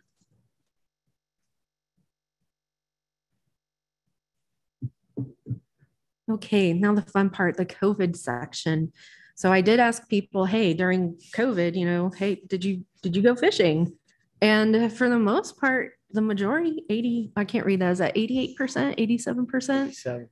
Yeah, 87% did go fishing during the pandemic. I ask that question on the survey no matter what, regardless of COVID, and it's usually around 88 to 90%. So I think, Kent, when you mentioned that um, 90 to 95% of turkey hunters that buy a permit actually go turkey hunting, for us, it's a little bit lower in fisheries. It's anywhere, I, I guess I should say, I think it's like 85 to 88%. So there are some people who for all intents and purposes plan to go, but they just don't get around to it. Were there differences in male and female participation levels? Nope. They uh, they both got out there or didn't get out there fishing in similar uh, fre frequencies, percentages. This one actually, um, it didn't surprise me so much as kind of was a relief because we heard that there were so many people out recreating co- during COVID. Recreating outside was one of the safest forms of recreation and being around or trying to avoid people that you could get. And so maybe people were crowded, but according to the results from this survey, really people were not nearly as crowded when they were out fishing as they originally expected to be. So that's good news.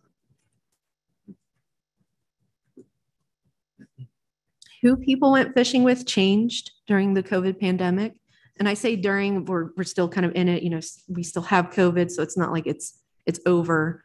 So the question, excuse me, is asking people to relate the differences before COVID versus um, on the survey, I think I mentioned, okay, so consider the pandemic like March 2020 onward. But we found that people fished more with family or alone. So you can see the percentages there. Well, I can't even read them now. it's a little, a little bit tiny, but family, I believe, went from like 40 to 46%. And uh, similarly for alone, it, it did bump up there. Excuse me. People also were less likely to travel further to get to their fishing locations. They were traveling an average of about 36 miles versus about 40 miles. And that may not seem like a big difference, but it was significant. People were fishing closer to home during the pandemic. I bet if we ask this today, it'll be a lot less than that due to those gas prices. But you have to remember, this was back in 2020. I gave a whole nother presentation about um, other impacts due to COVID at a different conference. One of the great things about surveys is that I can ask some open-ended questions and just allow freehand uh, writing or or messaging or texting on the the computer. And I like to present these word clouds to really see what kind of words pop up. These quotes that are on the bullets are directly from the survey. So the, these are the words of some of our anglers. Um, they did say it seemed like there was a lot more trash and we did have an increase in participation. So with that came more trash. People were having a hard time finding um, bait and fishing gear. There were stores that were just sold out. So um, definitely seeing that bump and then some colorful comments as well. Brad, what is that? I can't read it. I'd love to read that, but I can't. Yeah. Oh. Yeah, that's all I have for you today. Thank you for letting me present. Um, full report coming soon. I'm just about done. I'm making it more of a user-friendly report and trying to not get overly um, stats heavy. So look for that report coming soon. Mr. Chairman, I that's all I had unless there's questions or Are there any questions? for turn it over to Susan? you. Mr. Chair, uh, I might open with one, with your permission. Uh, Brad Loveless, the Secretary. So I, I was really glad to see that you, you a- asked both the anglers in the, in the public as well as staff and talk about how that might, uh, recognizing those differences in responses and perceptions might inform our decision making, would you? Oh, that's kind of dangerous. um, I do think it it kind of gives us internally just thinking about myself even as a person a part of the division um, to really kind of see what the public considers our our rising stars or our shining stars and sometimes that doesn't always line up with what we think one of the things that I, I wrote a real just you know quick two page report and sent it out to the division but some of the things that were not rated as highly by the public versus us that are very important to us things like creel surveys research population sampling. As fisheries experts we know that is very important and we need to do those to do our job effectively. So that in terms of you know allocating resources that is you know my opinion, should not be taken off the table. But if you have, you know, to take a second look at your resources and you're starting to look at things that are rated a little bit lower, that to me is where you start considering Yeah, like programs, um, right? programs that might need to get shifted to something else. And that can be hard to swallow, especially if it's really important to you. Like I like the mobile aquarium, but yeah. We'll see. Any other questions? Commissioner Escareno, Susan, um, do you know where you got the results from the survey? What counties you got the surveys from, or I you know do. what part of the state they came from, and it- it is it somewhat equal throughout, like Yeah. Southwest, Northwest, Central, North Central? Yeah, I actually had a, uh professor at Emporia State University uh, plot the responses in ArcGIS, Mhm. and that will be a part of the report as well. Okay. But we had um, reports or surveys returned from, I think, every single county. Okay. And uh, we had a very good distribution across the state. Awesome. Thank you.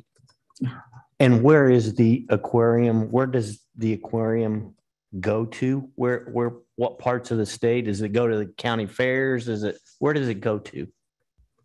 So that depends on the year. There's, you know, we've been under COVID, so it's been a little different with COVID. But from my understanding, um, there are entities that can kind of put in an application for that. And the person in charge of that, I believe, is David Breath, who's our sport fish educator. And he receives those applications and can kind of decide where that resource can go. Um, it's very big and it takes a lot of manpower. You have to get the fire department to fill it up. The hatcheries have to help us stock it with fish. People Mhm. have to go electrofish and get some, uh, some fish as well. So it's, it's a big endeavor. Sure. Yeah. Okay. Thank you. All right, thank you. Yeah. Thank you for your time. Now we'll talk about bald eagle telemetry. Zach, Eddy, He's on. He's online. okay. All right, folks, am I successfully off mute? Yes. Good deal. Um, as I get my screen shared here, I will introduce myself. I'm Zach Eddy, terrestrial ecologist with the um, Ecological Services section of the department based out of Pratt. One of my primary duties with the department is uh, as serving as the department's lead for environmental review of, of energy projects. But today, I'm going to talk to you a little bit about a bald eagle telemetry research study that we kicked off last year and how that kind of overlaps with, with my day-to-day uh, work reviewing, reviewing and providing comments for wind farms and energy infrastructure. Um, by way of, of uh, providing a little bit of background to eagle populations in Kansas, I would just say that that the first recent document, uh, you know, recent history documentation of a successful bald eagle nest in the state occurred in 1989. Uh, population slowly but steadily expanded through the state in the 90s and early 2000s. By then, a kind of ad hoc group of, of citizen scientists and, and local conservationists had, had come together to document and monitor nesting attempts across the state. And then by 2007, the US Fish and Wildlife Service delisted the bald eagle from the federal endangered species list. We followed suit, delisting it from our state list in 2009. Uh, and populations have, have been very successful and, and, and expanded into large, a large swath of the state uh, since then. In 2019, we learned that, that a few other states around us were working with uh, the US Geological Survey and uh, a, cons a consulting firm called Conservation Science Global to, to look at, at eagle home range sizes and, and space use uh, in those states. One of those birds uh, from Oklahoma sadly perished in Kansas. Uh, and we got really interested in the, the quality of the telemetry data that they were able to, uh, to collect on that individual prior to, to it dying uh, in central Kansas. And, and that led to some discussions with uh, both those two entities, USGS and Conservation Science Global, as well as the US Fish and Wildlife Service and Evergy. US Fish and Wildlife Service and Ed- Evergy, uh, formerly Westar Energy, had, had a good partnership to, uh, to access and, and band bald eagle fledglings uh, up in Northeast Kansas for, for the last number of years. And we were able to, to leverage that partnership to, uh, to, to uh, assist us in, in accessing these birds and getting them safely on the ground uh, to, to carry out our research. So we'd hoped to start our project in 2020. That ended up being delayed because of of COVID, we got out to the field in early 2021 and started putting uh, telemetry backpacks on birds in May of, of 2021. The goals of our project are, are kind of threefold. First of all, we want to assess home, home range size and habitat use of, of eaglets that have just fledged prior to their post, postnatal nesting dispersal period. So they'll use territory around around those those nests they were born in to kind of kind of get their bearings, learn to fly, learn to hunt, and then eventually they they head off. Um, during that post uh, dispersal period, that post nest natal dispersal period, we wanted to see where they go, uh, kind of quantify and analyze their behavior uh, uh, through those few years uh, between fledgling and establishing nesting territories themselves. Uh, learn more about their use of the landscape and airspace during that time.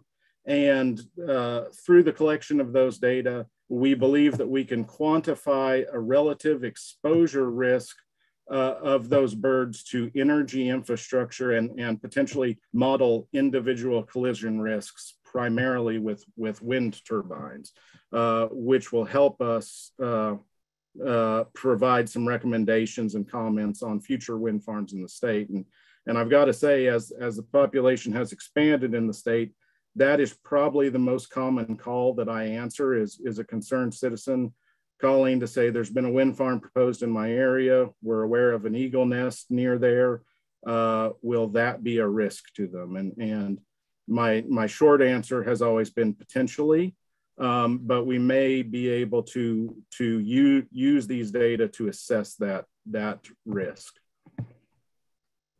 Once we were able to get started with the project, one of the most important uh, uh, kind of starting points was to select nests. And, and what we did was rely on that, that citizen science led effort uh, uh, to determine which nests had successfully incubated eggs and produced eaglets, uh, uh, where they were located in the state, and, and kind of get approximate ages on those eaglets.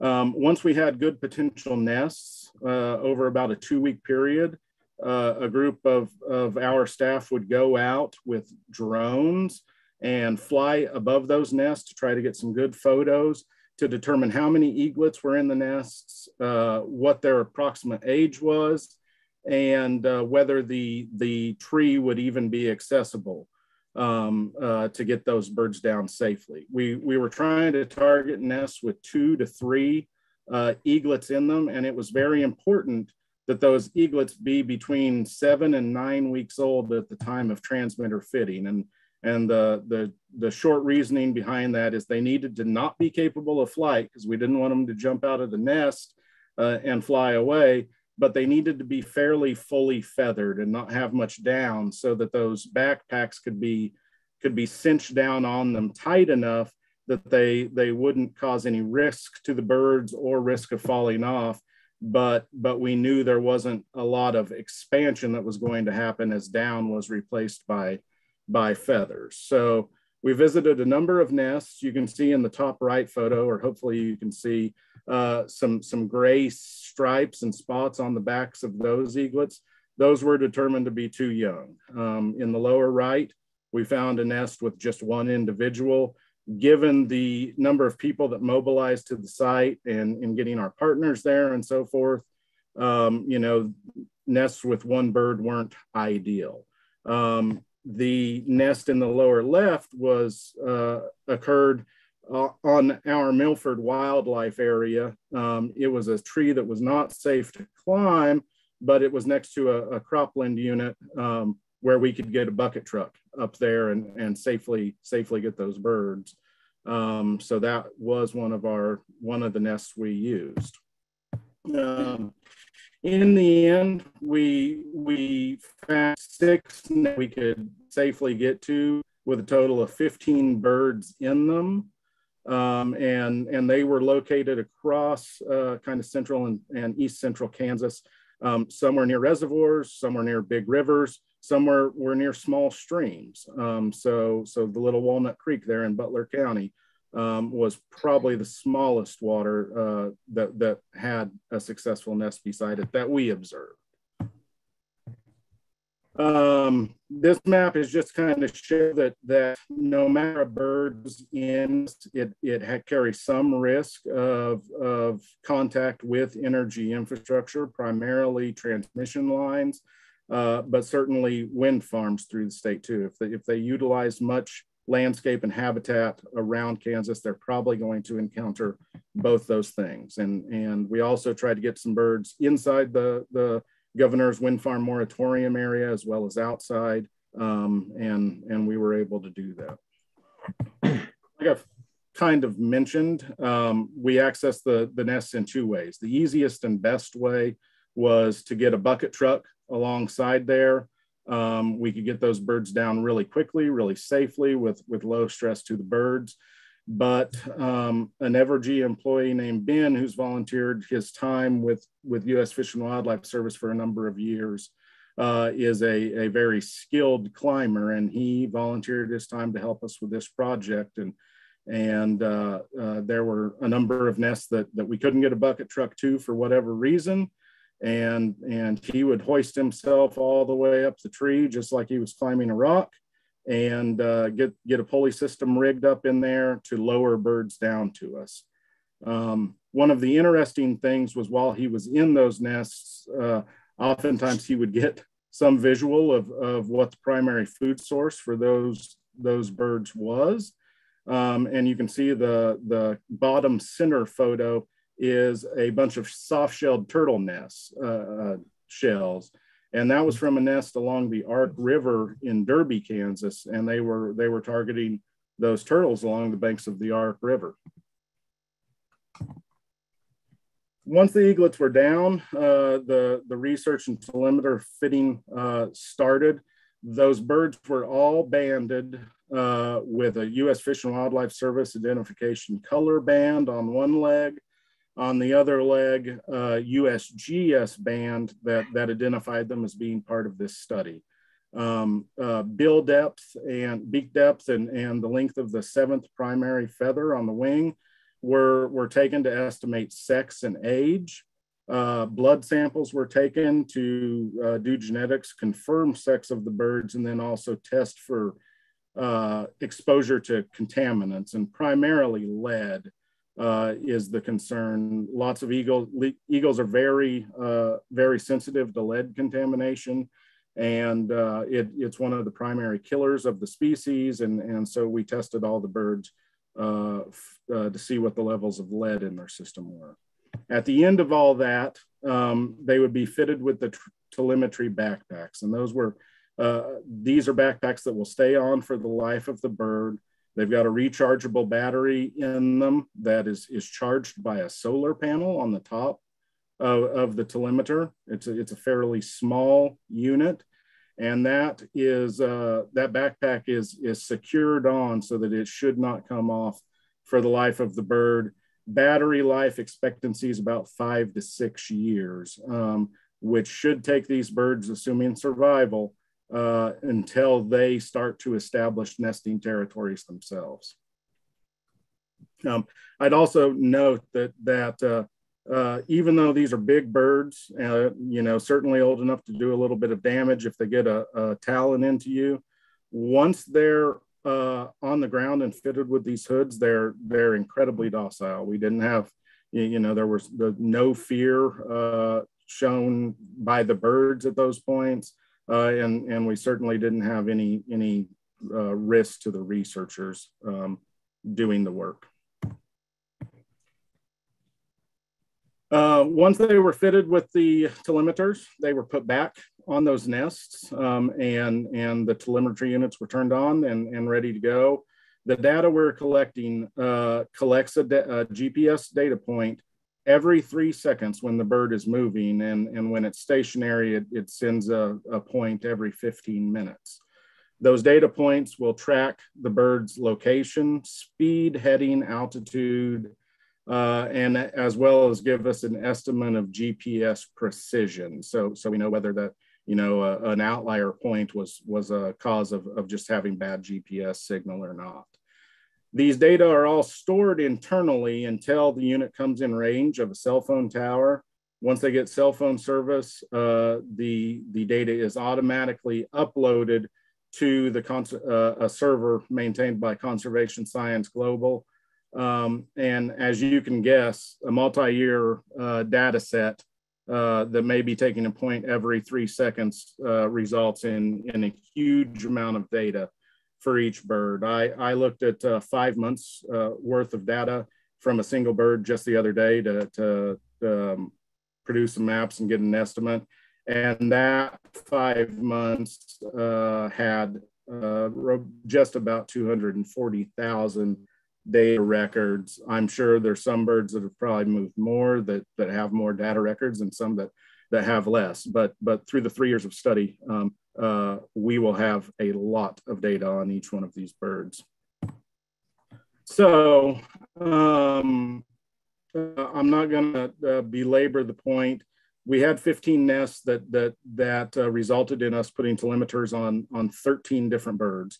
Uh, one of the birds shown down in the bottom was was deemed too small, and that's what we saw fairly commonly with birds that had or nests that had three birds in them. You'd have two birds that, that developed faster, were probably capitalizing on more food brought by the parents, and, and one bird, which was essentially the runt, um, who didn't develop as fast. So we did bring that bird down to the ground uh, to, to do the aging and sexing and blood testing, put a US or a Fish and Wildlife Service color band, uh, identification band on it, and returned it to the nest with, without a backpack Another bird uh, simply hopped out of the nest onto a limb, and we didn't want to spook that bird uh, any further uh, or put our climber at risk. So, so we just let that bird go. We had two other birds uh, of its siblings in the same nest we could put telemeters on. And, and so here's a couple of, of maps of those birds following that post-nesting initial dispersal period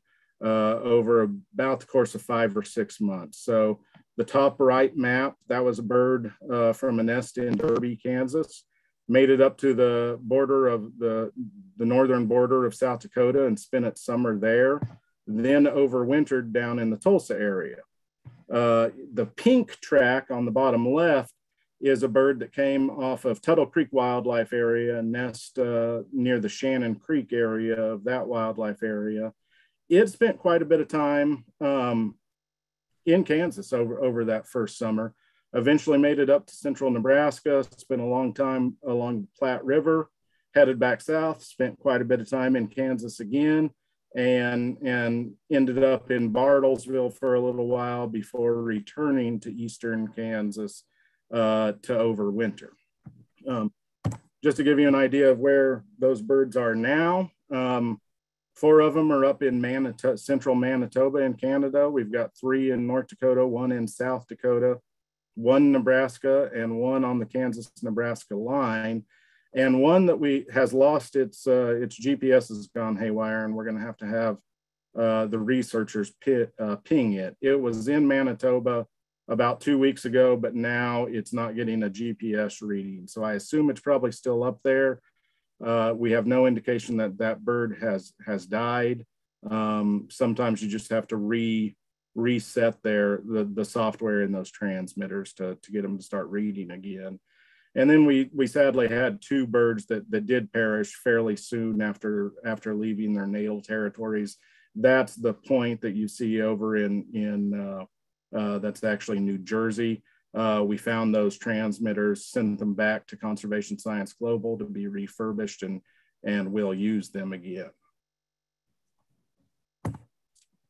So in the future, we've been really impressed by the quality of this day, uh, the, the data we're collecting. Uh, we decided last year, or, or, I guess earlier this year, to extend that, that contract for an additional three years and add some more uh, uh, telemetry backpacks. Um, uh, the addition of years, um, since those backpacks will will maintain functionality through about six years, uh, we wanted to see, you know, assuming survival, where do these birds come back to to uh, establish their own nesting territories? The assumption is that they'll return pretty close to where they were born, but that obviously is not always the case, or we wouldn't have had that first initial nest in, in 1989. So, so how many of them do come back? How close do they stay to that, that territory where they were born? And what proportion of them uh, determine that somewhere else is better? In uh, the spring of 2023, next year, we're, we hope to deploy an, an additional 10 to 15 uh, telemetry units. We're hoping to, to target kind of central and western Kansas uh, to, to see if those birds, uh, those birds, you know, differ in their behavior um, uh, through the years. And so we'll have six years total data, uh, well, five years of total data collected for our initial 13 birds. Um, uh, plus an additional three years of data, data for the 10 to 15 that we deploy next year. And now that we do have right at a year of, of data, those birds all dispersed uh, uh, in early July 2021. So we're coming up on a full year of data. Uh, the research partners um, uh, can, can begin analysis of that data um, and start start drawing some conclusions about at least how they're using habitat and and airspace uh, through that first year of life. So that's a quick rundown. I, I do want to really acknowledge that the folks that assisted us uh, in the the initial phase of this project, and and of course we have to thank the private landowners who allowed us access to their properties to, to, to get to these birds, as well as the individual Eagle Nest observers who volunteered their time uh, to, to help us locate the nests, um, uh, make landowner contacts, and, and, and, and uh, allow the research to go forward. You see Rex Herndon, he's one of the, the observers uh, on the right, and the landowner he put us in contact is, is on the left. Um, the, those were two birds off that landowner's property uh, as they went back into the bags to be hoisted back into their trees. Um, um, then, of course, Evergy, the use of, of a big bucket truck that, that, that sped the project up and, and the, the folks who made their time to go and come out to the field to, to get this kicked off. Um, so with that, if you have any questions, I'm happy to, to try to answer them and, and I appreciate your time. Any questions for Zach? Was the Zach, was the first eagle at Clinton Lake? First nest? Uh, you know, I, I uh, should have looked that up before I started and I didn't. I, I believe it was up around there, but I, I can't remember if it was Clinton or Perry.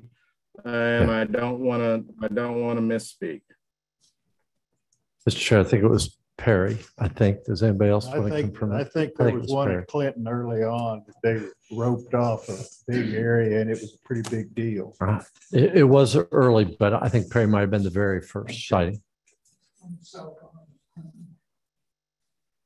So you're saying Tom Clinton was the first? It was the first one that roped off. Okay, okay, It was the first successful one I remember. I didn't remember one that very- okay. Yeah, I'll have to check, but I, I trust your memory better than mine. Are there any, I, this is a tiny bit off subject, but Zach, are there any um, reports or conclusions drawn from this year? Um, I know there was a substantial number of nest failures this year. Do you have any information or conclusions from that at all yet?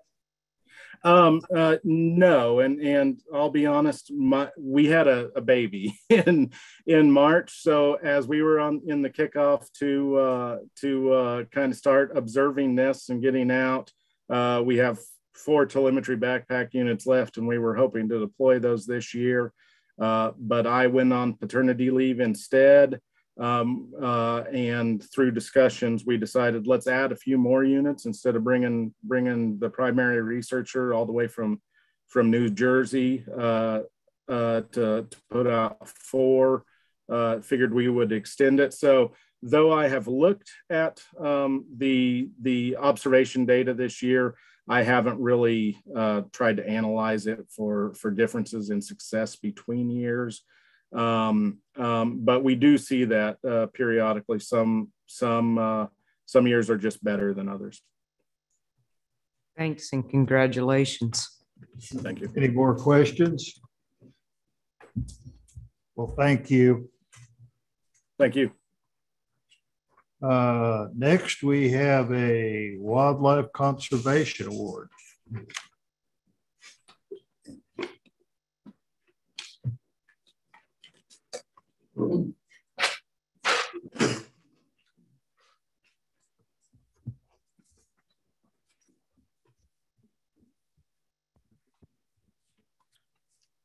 Good after, good afternoon, Mr. Chairman and members of the commission. My name is Brad Rishoff and I'm the Region Two Wildlife Supervisor based in Topeka, Kansas. I'm here on behalf of Wes Sowards, our Wildlife Division Director, Assistant Director. Wes was unable to attend today's meeting. Uh, approximately 98% of Kansas is under private ownership. To achieve the department's mission of conserving and enhancing Kansas's natural heritage, its wildlife, and their habitats, we must focus on managing and, and enhancing private lands in partnership with landowners of this state while keeping in mind the goals of the landowner. KDWP currently employs 29 wildlife biologists across the state to work directly with private landowners, the United States Department of Agriculture, the U.S. Fish and Wildlife Service, and other conservation partners to help restore and enhance wildlife habitat on private working landscapes. KDWP's Habitat First program, funded by license sales and federal wildlife restoration dollars, provides both technical and financial assistance to landowners. The department also partners with Pheasants Forever to employ habitat specialists to directly implement beneficial habitat practices on private properties. We're invested in the private lands of this state and want to take this time to celebrate the landowners who are the stewards of our land and its wildlife. With that being said, I would like to read this year's winning nomination for the Kansas Department of Wildlife and Park 2022 State Wildlife Habitat Conservation Award. This nomination was written by Darren Porter, our district wildlife biologist based out of the Topeka Region 2 office. I would like to nominate J&N Ranch LLC for the two, 2022 State Wildlife Habitat Award for work accomplished on the Gun Barrel Ranch. The ranch is located in southern Wabaunsee County in the heart of the Flint Hills.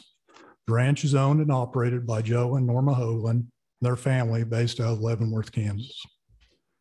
Property is pro- comprised of 3,800 acres of Flint Hills native grass and managed as a stocker and cow-calf operation. As with many property owners and managers, Joe Hoagland was concerned about the changes he was seeing in the composition of the vegetation as Sericea lespedeza and invasive trees were expanding in Flint Hills. Annual spring burning and widespread chemical applications were not effective in controlling these invasive plants alone. In conjunction with doc, direction from Dr. KC Olson and others, Joe began to change his management strategies from spring burns and widespread chemical application to a fall patch burning strategy and targeted chemical application. In the summer of 2021, an agreement was entered into between the U.S. Fish and Wildlife Service, the Tallgrass Legacy Alliance, and J&N Ranch LLC. Partners for Fish and Wildlife Program provides cost share for long-term habitat restoration and monitoring. Kansas Wildlife and Parks also agreed to provide funding and labor through its Habitat First program. During the winter of 21, trees were cut and piled on roughly 300 acres of drainages, as well as those scattered across the pastures. The management plan implements grazing and burning strategies to improve the grazing operation while at the same time improving the pastures for grassland and nesting birds, such as the greater prairie chicken, northern bobwhite quail, and many other non-game species. The Hoagland family has agreed to utilize program, prescribed burning and spot spraying techniques to, minimum, to minimize damage to the native forb community, which will also provide benefits to many pollinator species as well. Ranch has also been enrolled in the department's walk-in hunting area program, which provide, uh, uh, which is providing excellent hunting opportunity to the public in general. The U.S. Fish and Wildlife Service is continuing to long-term monitoring of the habitat improvements. This joint project between private and pu public entities will continue to improve wildlife habitat on the ranch for many years to come. Uh, Joe and Noble Hoagland were not able to attend today's meeting due to other prior commitments. Uh, accepting the, the award today on behalf is on their behalf is their son and his family here is- is here today also, but Dirk Hoagland is their son, is here to accept the award today. Congratulations and thank you for all you have done and continue to do for your wildlife in Kansas. With that, I'll turn it over to Dirk, to Dirk quickly.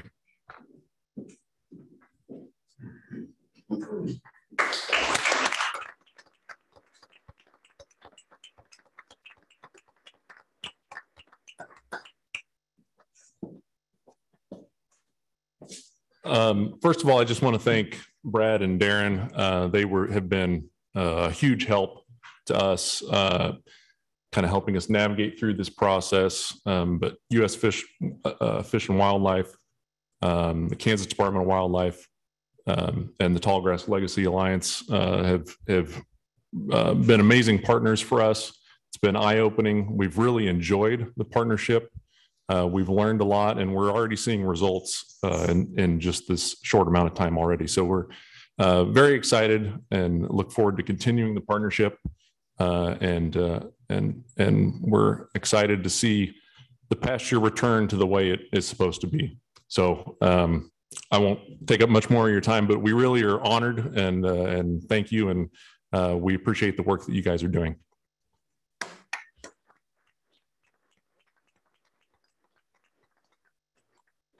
Thank you very much. Uh, Clinton State Park update.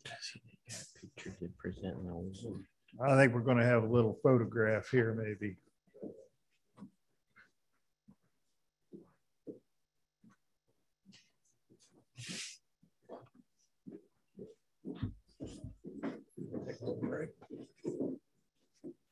Short break.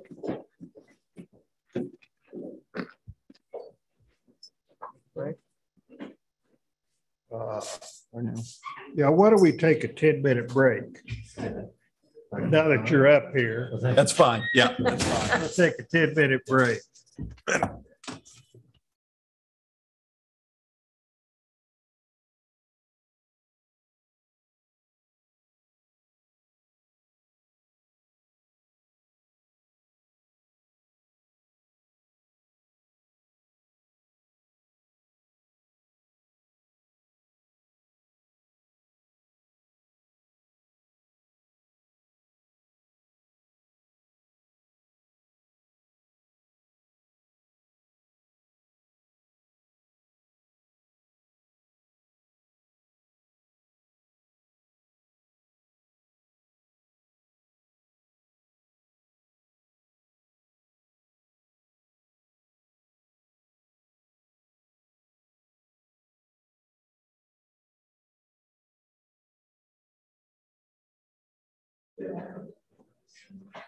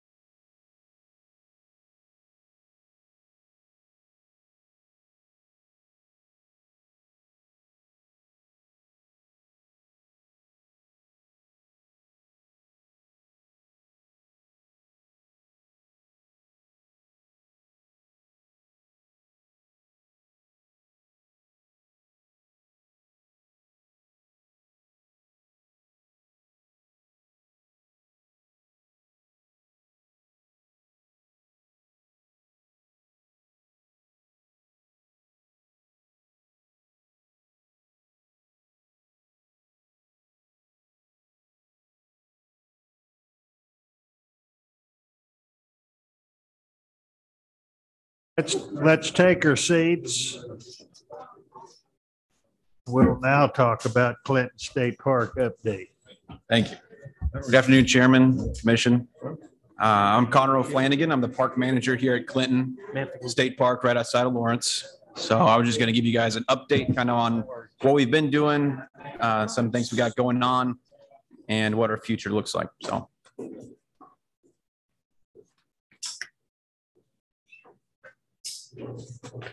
Jason. There. There we go. Okay, so these are some of the topics I'm going to talk about is the 2019 flood and how we recovered and responded, um, current and upcoming projects we have, and the Clinton Marina as well.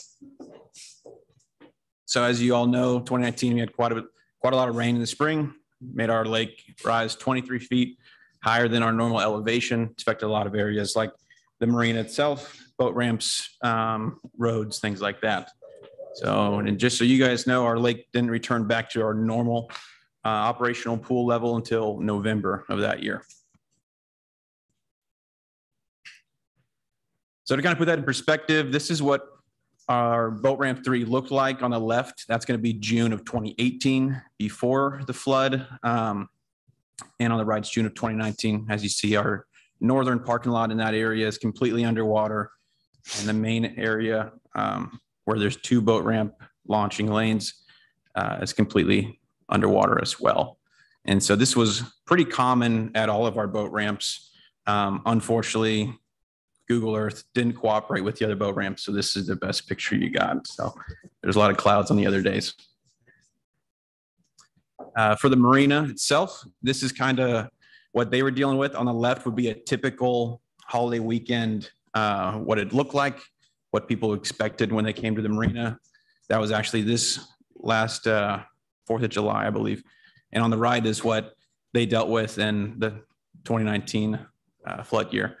And so that's a makeshift kind of walkway there. Um, Megan Hebert, she was the uh, manager at that time, did a really good job to still let people who had boats and stuff and operate and get out there, even though they had no power, running water, things like that.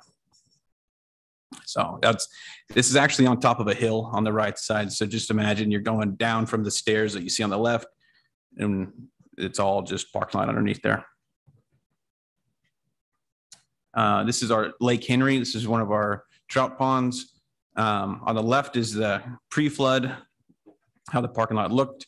On the right is post-flood. So what occurred in this area was the soil underneath that parking lot got saturated from the water. Uh, it's kind of on a hill. So when that water left the hillside, kind of compromised the integrity of the parking lot itself, began to sink, crack, uh, and needs replaced. And then here's just some other pictures for you guys to look at. Uh, these are our boat ramps. This is on the left is boat ramp two, and that's um, from a boat when we were adjusting our wave breaks. Uh, that seemed like we were doing on a daily basis. Uh, but this is in boat ramp two facing the marina. And so you can kind of see on the right half of that picture, there's a little kind of triangle. Oops, sorry. Um, that's a, a bathroom facility completely underwater. So that wasn't uncommon to see. And on the right, that's boat ramp three that we saw earlier. That's completely underwater as well. Yeah. Was that bathroom facility, so what was that on? Sewer, septic? So that's uh, that's a, a vault toilet. Yeah. So luckily the Corps kind of let us know ahead of time that hey, the rains look like it's going to be flooding this year. We got all of everything pumped out. Um, it's still a, a vault toilet, but uh, we did the best we could. So Thank you. it still shocked me that there'd be some people fishing nearby, but uh, I I told them probably not the best idea to eat that today, but it is what it is. All right, so these are some of the projects that stemmed from that that rain event, uh, replacing the parking lot light poles, things you don't think about when when flooding happens. Um, parking lot lights and area lights got got really rusty, needed replaced just because we didn't want them to fall down and break and stuff like that. Replace our boat ramp bathroom doors. Uh, when I went and checked them, actually with Jeff Bender, we uh, opened up the first door and it fell off the hinges because it just got so rusted for being underwater for so long. Repair of Lake Henry, the parking lot, that's scheduled here coming up. And then we just got some other boat ramp parking lots that are, that are needing some patchwork and replacement uh, from being underwater for so long. And I'm just going to talk a little bit on some current and upcoming projects we have. Uh, this is one that we got done for the 2021 season. So we have our kids fishing pond, which is inside of our day use area at the park. And one thing we noticed was uh, there's not much area around the pond itself that wheelchairs um, can easily get to and access for fishing. So we uh, worked with our engineering uh, division and got some plans made up and we ended up building it ourselves. Uh, and this is a complete ADA accessible fishing dock. Uh, so now individuals with disabilities that may need a wheelchair or something like that can still access fishing, which we thought was a really good improvement. We got it opened up for OK Kids Day, which we have in August each year. Uh, the group here uh, is actually Girl Scouts Love State Parks. So didn't have a picture with uh, OK Kids Day, but it's been a really good and popular thing. Couple of our wildlife projects we got at the park. Uh, we started and, and put up six bat houses around the park just to help with declining bat populations. Uh, we still need to check them this year to see what the occupancy looks like. A really good program we started this year. Uh, we got two bee colonies. So we have two hives at the park, and this will eventually turn into an interpretive program. We'll take some of the frames and go to schools, talk about pollinators, talk about honey, things like that. And our big project that we've been working on this year is our archery range. Uh, beforehand, we had an archery range that really didn't have a shooting line, um, had five targets, and it just really needed some some updated work. So, been working with Aaron Austin with education and partnering with him and getting this going. And so, on the picture here is what you'll what we have right now. It's a 14 lane uh, covered shooting area. It's going to be um, ranging from 20, 10 yards for uh, youth targets, and then going all the way out to 60 yards. Going to have two lanes that are devoted for bring your own target if you want to bring a 3D target or crossbow. Uh, there is some other, hopefully, uh, more phases down the road, but as of now, until we get our uh, targets in, then we're going to get everything put in and have a grand opening. So stay tuned for that. Uh, this should be really good. Like I said, the range before really needed some help, and, and this would be a really good addition. All right. And then I'm just going to touch a little bit on Clinton Marina. Uh, so some history on the marina. Megan Hebert purchased the marina in uh, 1998 from the Raton family. Megan's actually here in the back. Megan, if you want to stand up real quick. So she owned and operated the marina. Um, and then in 2021, her niece, Erin Carberry, and Peter May you see? Okay. Um, are managing it now. So they're here as well. I just think the picture of Megan, uh, that's the year that she bought it, if I'm correct.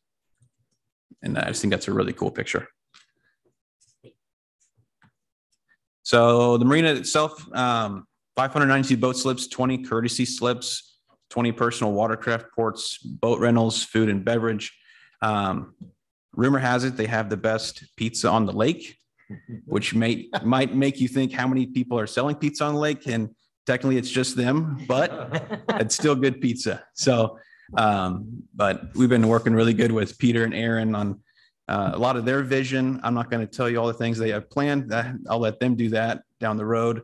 Um, but they're definitely uh, building off of Megan's legacy and really just showcasing what we have here at the lake and at the park. And that's pretty much I have what all I have for you today, unless you guys have any questions. Are there any questions for Connor? Were those, uh, Connor, were those projects, uh, federally funded, available, or available for federal funding? So the archery range is funded through Hunter's Ed. Uh, and then the uh, pollinators for bees, that was uh, funded through Wild Trust donations. Uh, and then the bat houses was across the state, which I, I couldn't tell you if that was federally funded or not. Mhm. I was just curious for those infrastructure problems, you know, the, the parking lot and the. Oh, okay, vaults, sorry. Those things like that. I don't know if they were ARPA eligible or not. Yeah, I'm sorry. The uh, uh, projects related to the flooding in 2019, those are going through FEMA. Okay. And so those are FEMA funded. Okay. Mr. Chair, if I might follow up, good, it's a good question. Talking about timing of, of FEMA um, payments, uh, that's been a change since, you know, our previous experience with FEMA, would you, Connor? Yeah, so I'm, I, uh, for us, um, although we were 23 feet high, our state park really didn't suffer nearly as much as some other state parks. Our uh, campgrounds are higher up on bluffs. We didn't have some of those facilities that were not in use. So um, we've kind of been able to to last uh, without having to need as much funding right now. And so we're getting to the point where now we're getting um, some of those projects done just because some of these other bigger parks that had some lot major more issues uh, needed their their stuff done first. I answer your question. All I have to say is being one who fishes in the winter, I appreciate it when after it snows, you get out there and clean the roads. Appreciate that. Yeah. So- yeah, we have a, a few guides uh, as well. So we try to run through the boat ramp parking lots because even if it's still snowing, they're they'll launch out there and It- It's noticed and appreciated. Is there any other questions for Connor? Well, thank you very much. thank you guys. Thank you. Uh, the commercial harvest of mussels.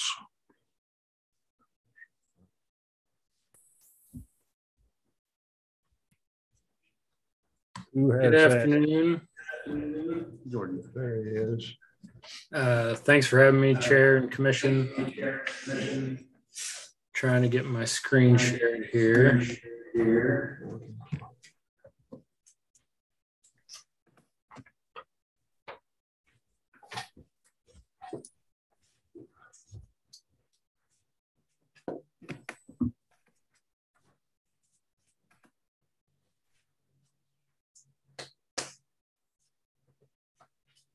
Okay, can you see my screen? Yes. Yes. Thank you. Okay, so I'll be uh, pretty brief here. But, uh, I just wanted to talk to you about uh, the mussel harvest regulations that I spoke with you about at the last commission meeting. Um, just a quick history of mussel harvest regulation in the state. Um, previously, these mussels were used in the pearl button industry and for cultured pearl production. Um, historically, we've had four native species permitted for harvest and one non-native species. Uh, since uh, the beginning of 2003, we've had a moratorium on this commercial mussel harvest. And that moratorium lasted for 10 years, was extended one time, and is set to sunset uh, at the very beginning of next year.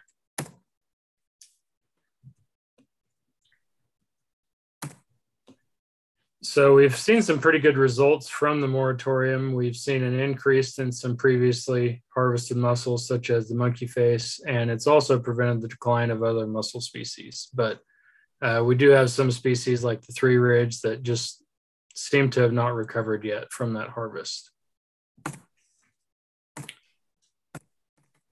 So looking around uh, at our neighboring states, um, Oklahoma and Arkansas still allow commercial harvests, but there really is not a market to be said. Um, Missouri uh, removed regulations allowing harvest in 2009, and Nebraska also does not allow commercial harvest. And we have a number of concerns with commercial harvests in Kansas. Uh, mussels often have pretty specific habitat requirements, which leads to concentrations of those mussels, which then can lead to concentrated harvest. And mussels, based on their complex life histories, often have very sporadic recruitment. So conditions have to be just right for spawning and uh, reproduction and recruitment. And there's a lot of old and new threats that mussels face. Um, you know, some of the new ones you might consider aquatic nuisance species um, and climate change. And uh, potentially emerging mussel virus that's um, wreaking havoc in some places in the eastern US. Um, commercial harvest could also be a concern during regulatory listing processes. Um, you know, in both state and federal versions of Endangered Species Act, uh, commercial harvest is a, is a point that has to be addressed in that listing process. So by removing it, um, that helps to alleviate that concern. Uh, mussels are also pretty difficult to identify. Um, a lot of species look very similar, and at the very same time, the same species may look different from another um, individual of the same species. So they're they're pretty tough to tell apart.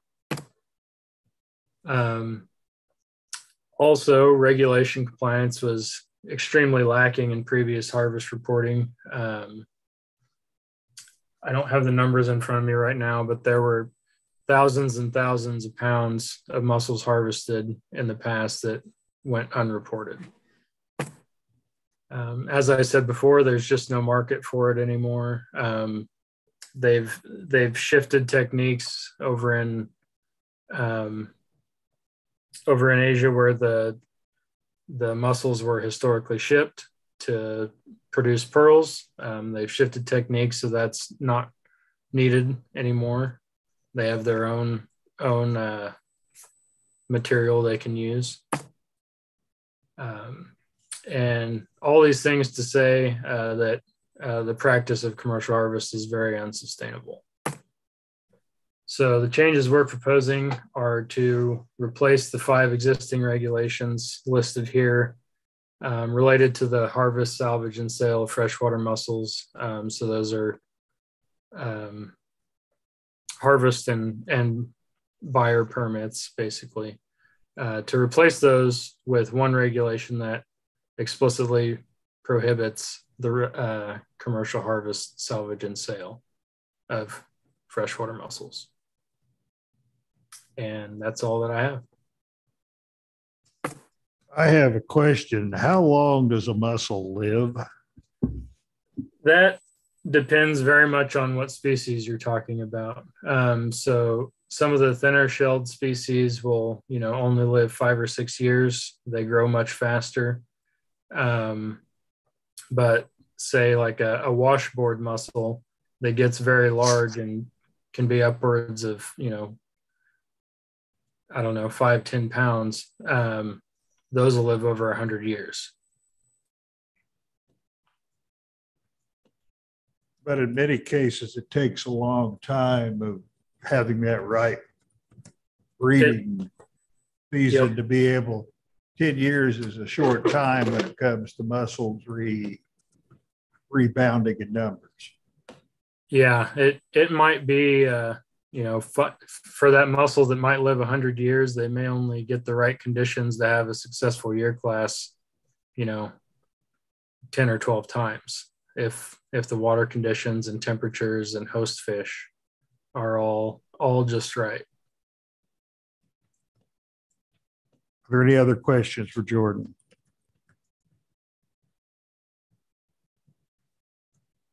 Hearing none, thank you very much.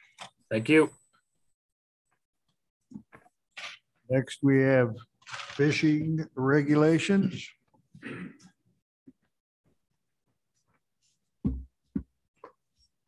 Mr. Chair, members of the commission, um, we workshopped these, or this was part of the general discussion in April, and none of the language has changed on the fish regulation changes that we're going to do, that we're going to workshop here tonight. And I believe we workshop this one more time. But um, the first item to discuss is changes to the reference document, which outlines the length and creel limit changes uh, at individual impoundments that differ than the statewide regulations. And so um, the, these are the changes proposed for the 2023 calendar year. And, and I'm just going to highlight some. They've been in your, they're in your briefing book, but some of the just a little bit more contentious ones here are 10 inch minimum link limit at Cedar Bluff. We want to remove that. We instituted that in 2018 based on a response of uh, poor recruitment and um, and, and rapid growth. Well, conditions have changed since the lake uh, filled up in 2019 and uh, growth has slowed a little bit. Recruitment has improved, so there's, there's more smaller fish competing for less resources. And there just isn't that many 10-inch fish um, showing up in angler creels, so they want to remove that 10-inch length limit and allow harvest of some of those smaller fish. And the next one on, any questions on that one? The next one on here is uh, proposing a six to nine inch protective slot on bluegill and other sunfish at Antelope Lake in Graham County. We have four experimental populations where we're trying this right now, and this will be, I believe this will be our fifth. Um, it's just part of an adaptive research project to determine if reducing harvest at these sizes, that six to nine inch size range, has the potential to increase those size structures. We have very little uh, eight inch bluegill in a lot of our public impoundments, and we're just trying to see, trying different things to see if we can increase growth on some of them. But anyway, any questions on that one? Okay, Pomona and Melvern reservoirs, we're proposing an eighteen inch minimum length limit on saugeye. That one has had an eighteen inch limit on walleye for several years now, and we've started stocking saugeye as part of a research project to see if they do any better than the walleye. We've been stocking there. And since we have both species, we want them to be the same minimum length limit, so we're just proposing to clean that up and change it to eighteen. Okay, that's, that's the main ones for the reference document, unless you want me to list all of them. No, are there any questions on that so far? Okay, go on. Okay, the other proposed regulation change, the first one I have here is KAR one fifteen seven four. Uh, fish processing and possession. We want to change this regulation to read each person who takes any fish. Um, and then here's the wording we want to change with a statewide length limit or a water body specific length limit from a water body shall receive, shall leave the head, body and tail fin attached while the person is possession, is in possession of those fish on the water. So we just wanted to make sure that, um, that we're allowing gizzard shad as cut bait, you know, for, for channel cat, blue cat. Um, people were doing this in the past and it was just kind of an oversight that we didn't, didn't catch that. So we're just trying to clean up that language. So if they have a statewide length limit, then, then you, you need to leave the head, body and tail fin attached to be legal. That's it for that one. Okay, go on. Okay. The next change is in response to allow for the use of umbrella rigs with up to five hooks. Um, and as I mentioned, the general discussion in April, we felt that the use of umbrella rigs with five hooks is not likely to have population, population level effects of any particular species. And we haven't seen any scientific research to the contrary to this point. and that issues from snagging. There have been some uh, cases of, of people being successful snagging fish, um, not necessarily on purpose, but you know, just having that many hooks out there with wipers, white bass, those sorts of things. But we feel that that's covered adequately in other regulations that uh, restrict snagging as, as a means to capture fish and require the release of fish that are accidentally snagged outside the mouth. So um, with those two things together, we feel that that the, the language I'm about to mention kind of will allow for the use of umbrella rigs in a fairly safe way that doesn't affect the population. And so the first change would be to KAR 115.11 definitions. Uh, definition of an artificial lure. It means a man-made fishing device made of artificial or non-edible natural materials used to mimic prey. And we want to change the, the language as follows The Devices mimicking individual prey shall be limited to no more than three hooks. And devices mimicking multiple prey shall be limited to no more than five hooks. And so if you're using an umbrella rig, that would be mimicking multiple prey and you could use up to five hooks. Any questions on that one? I'll move on to 115.71. Go ahead. Okay, 115.71 um, fishing, legal equipment, methods of taking, and other provisions. We want to change this regulation to fishing lines with not more than two baited hooks or artificial lures per line. The latter, meaning artificial lures, shall not exceed six hooks per line. So with that one, essentially, you could still have two baited hooks per line, or if you're using two artificial lures, you would not be able to use two umbrella rigs because it would be over that six hook limit. Not like I mentioned before, it's not like anybody would do that, but that would keep them from using up to two umbrella rigs or more than six hooks.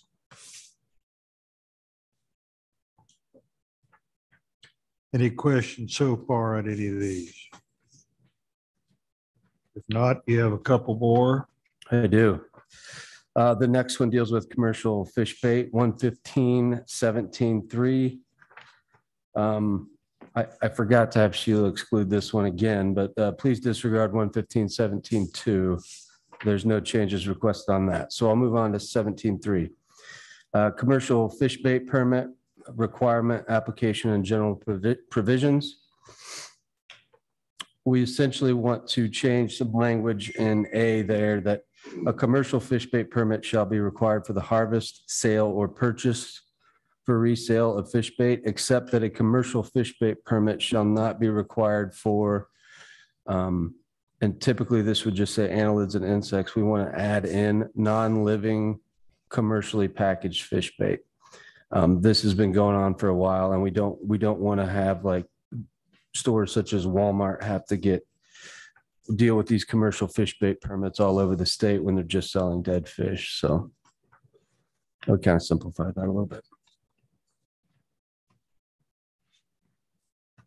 Go ahead. Okay. Uh, next one is one fifteen, seven ten, fishing special provisions. We want to remove the term Asian carp uh, throughout and replace it with silver and big head carp, just to be a little more specific.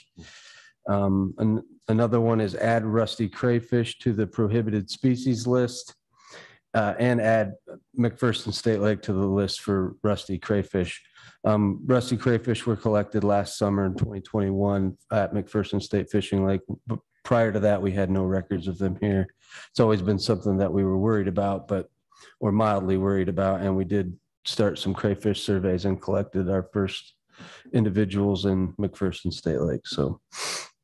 And the last one on there for one fifteen, seven ten is add Lebo City Lake to our uh, Kansas Aquatic Nuisance Species Designated Waters due to zebra mussel infestation in twenty twenty-one.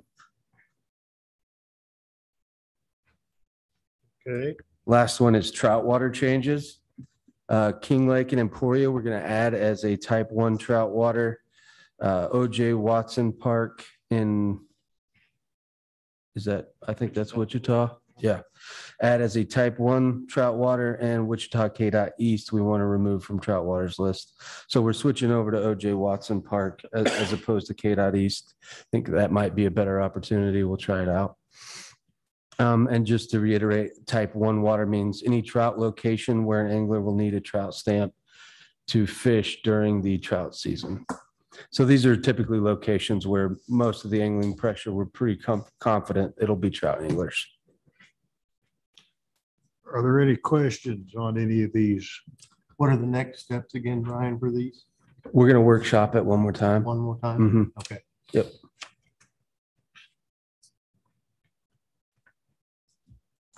Okay. Thank you. Thank you. Mr. Peak?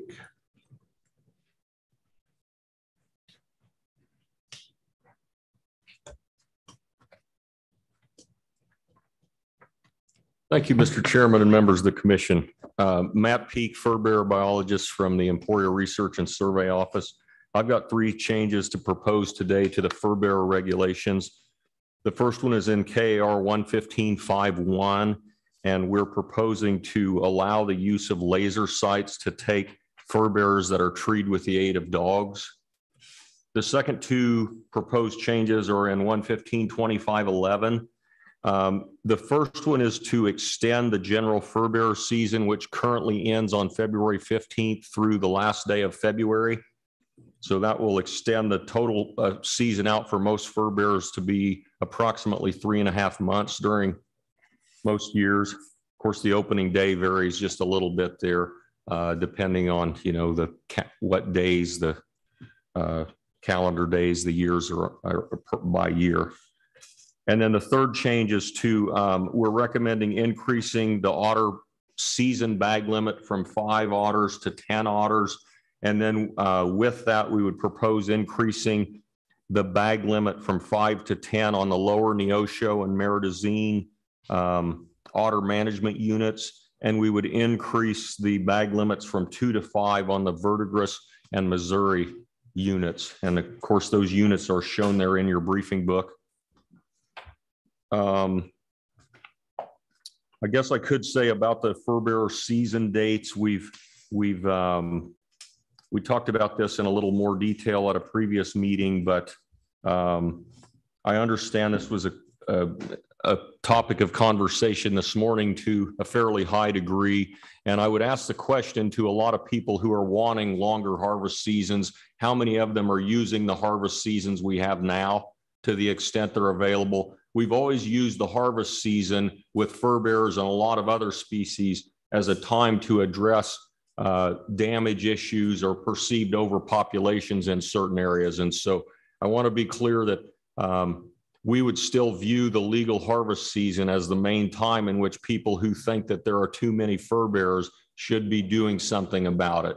And so we don't need to necessarily extend the season for those people to be able to address their problems. They've got three months and now we're proposing three and a half months that they could already do that. And so our intent is not to stand in anybody's way who wants to harvest more raccoons or wants to address raccoon or other fur bearer populations on their property. So with that, I'll turn this back over to you, Mr. Chairman. Any questions for Matt?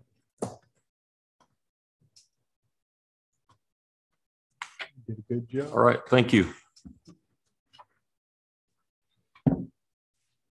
According to my agenda, that's all that's on the agenda for the afternoon session.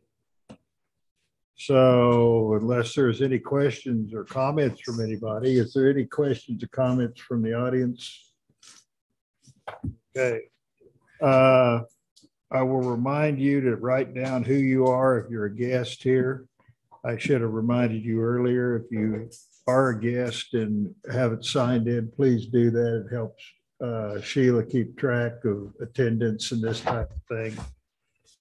I'm going to recess the meeting and it will reconvene at 6:30.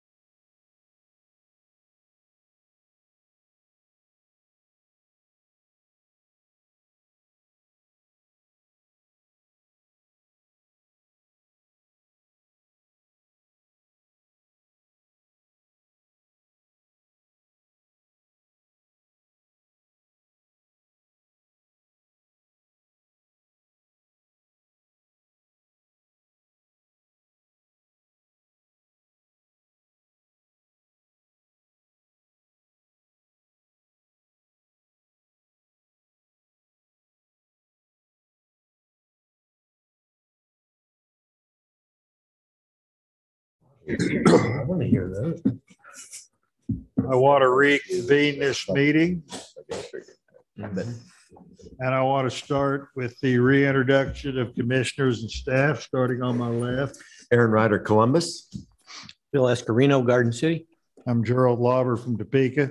Lauren Quayle Sill, Hutchinson. Emerick Cross, Kansas City. Troy Sporer, Oakley. Warren Gfeller, Russell. Sheila Kemmis, Commissioner support. Jason Dixon, Commissioner support. Brad Loveless, Secretary. Dan Riley, Chief Counsel. Okay, at this meeting, we will have any public comment on non-agenda items. Does anybody have anything they'd like to discuss? I do have one online, Chairman. Okay, Buck, I'm asking you to unmute, so you should be unmuting. Okay, can you hear me? Okay. yeah. Yeah. Y'all, can you, can y'all hear me? Hello? Yes. Uh, yes, sir. Um, first, I'd like to thank the commission for allowing me this opportunity to kind of, I don't know, just give my, a, a point of view that I have. Um, I've, I've hunted in Kansas, uh, I don't know, probably, um, 20, 20 years or more. Um, I've always, um, I've always hunted public land. Um, and, you know, enjoyed coming up there to y'all state. It's a, you know, have a great thing going up there with your wildlife program and stuff. Uh, you know, um, as much as I would like to, I, I would like to go be able to afford to go with an outfitter, but it's just, you know, not possible, you know, it, you know, to do that. Um, this year I put in, didn't get drawn, usually always get drawn. Uh, you know, uh, this year I did not. And when I was kind of checking with them to see if I got drawn or whatever, I said, well, you know, they'll be sending the check, the refund for the, for my permit. And, you know, I know they keep, I don't know, 20 something dollars or whatever to, you know, um, for, for putting in for the draw. Um, and, you know, to get the money back for the hunt license. Well, I was told this year that the hunt license, they're, uh, they're not gonna, they're not going to, uh, refund that.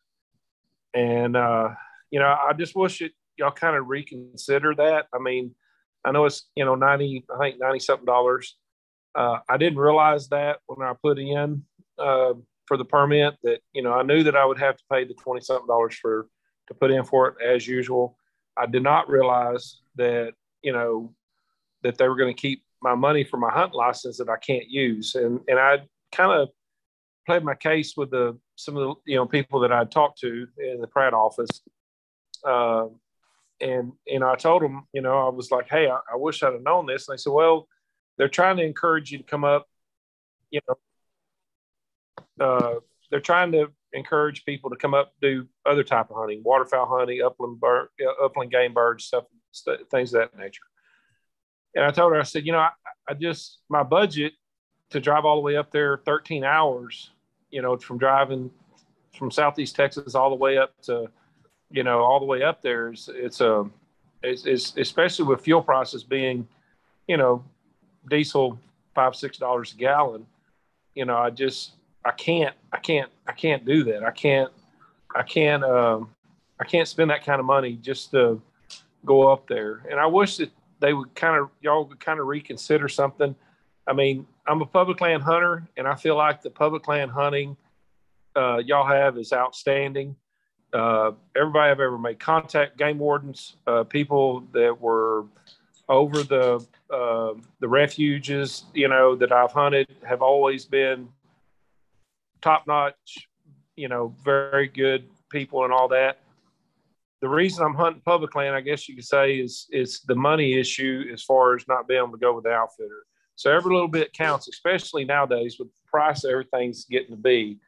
Um, I'm just wishing y'all would kind of reconsider that, keeping that money for those hunting license. Um, you know, I, I feel like hunting license, public hunting land also to me is the blue collar guy. That's his last hope as far as used to, you could go hunt properties, you know, it didn't cost that much. Even around here in Texas, now you can't go hunt anybody's property unless you got a pocket full of money. And I don't blame the landowner for that. I really don't.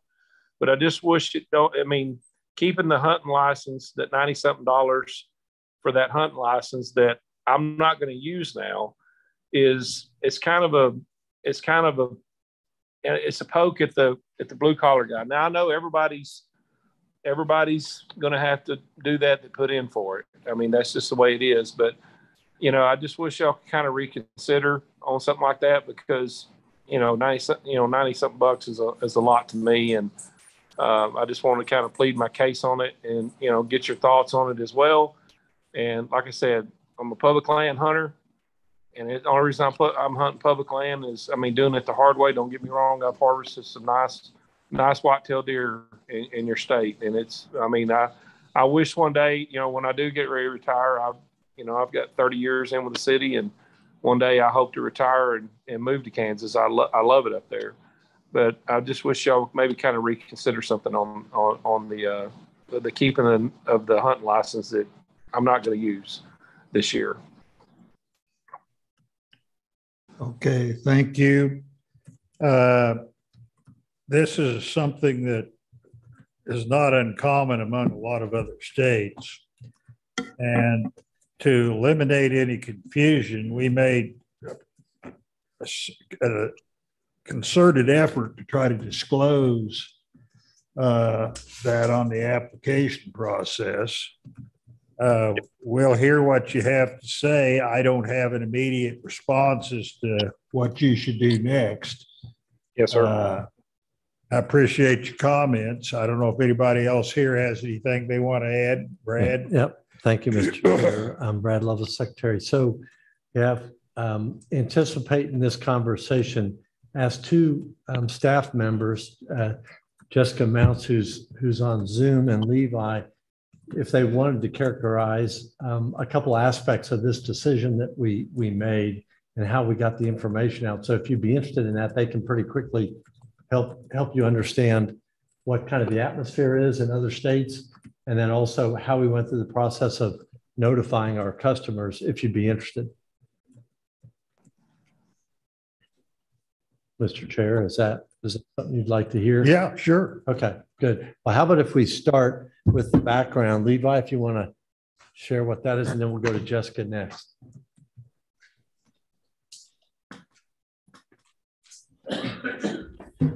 Levi Jaster, Emporia, Kansas. I am the big game program coordinator. Um, so I went through uh, all the states that had a deer tag that they had on a limited draw. Um, commonly, or the best I could, um, yesterday into the evening. And I got, got through 17 states. And in going through that, some, many states are unclear as to how they handle that. Most of the refund information is um, based on uh, somebody that actually got a tag and then can't come to hunt. Um, so, but in going through that, there are nine states that definitively said they don't refund tags. Three states that, uh, as best I could tell without contacting them uh, directly to ask for certain that also don't. So that would be 12 states that do not. There is only one state that does, um, and that's Iowa, except that they also then take out a $60 and 50 point preference point fee, or 50 cent preference point fee. Um, and then there are a couple states that uh, they don't requ- require a hunting license that is in the cost of the deer permit. Um, so they're not kind of, they're different from everybody. And then a couple of states that uh, are kind of sort of, um, notably is Nevada, in that they will refund the license fee, but you don't get any bonus points if you do that. Whereas if you want the bonus point, then they do not refund the license fee. Um, and then just to also make a note on some of these states uh, that I think would be of interest. is that several of the states, um, seven states have a higher hunting license fee than we do.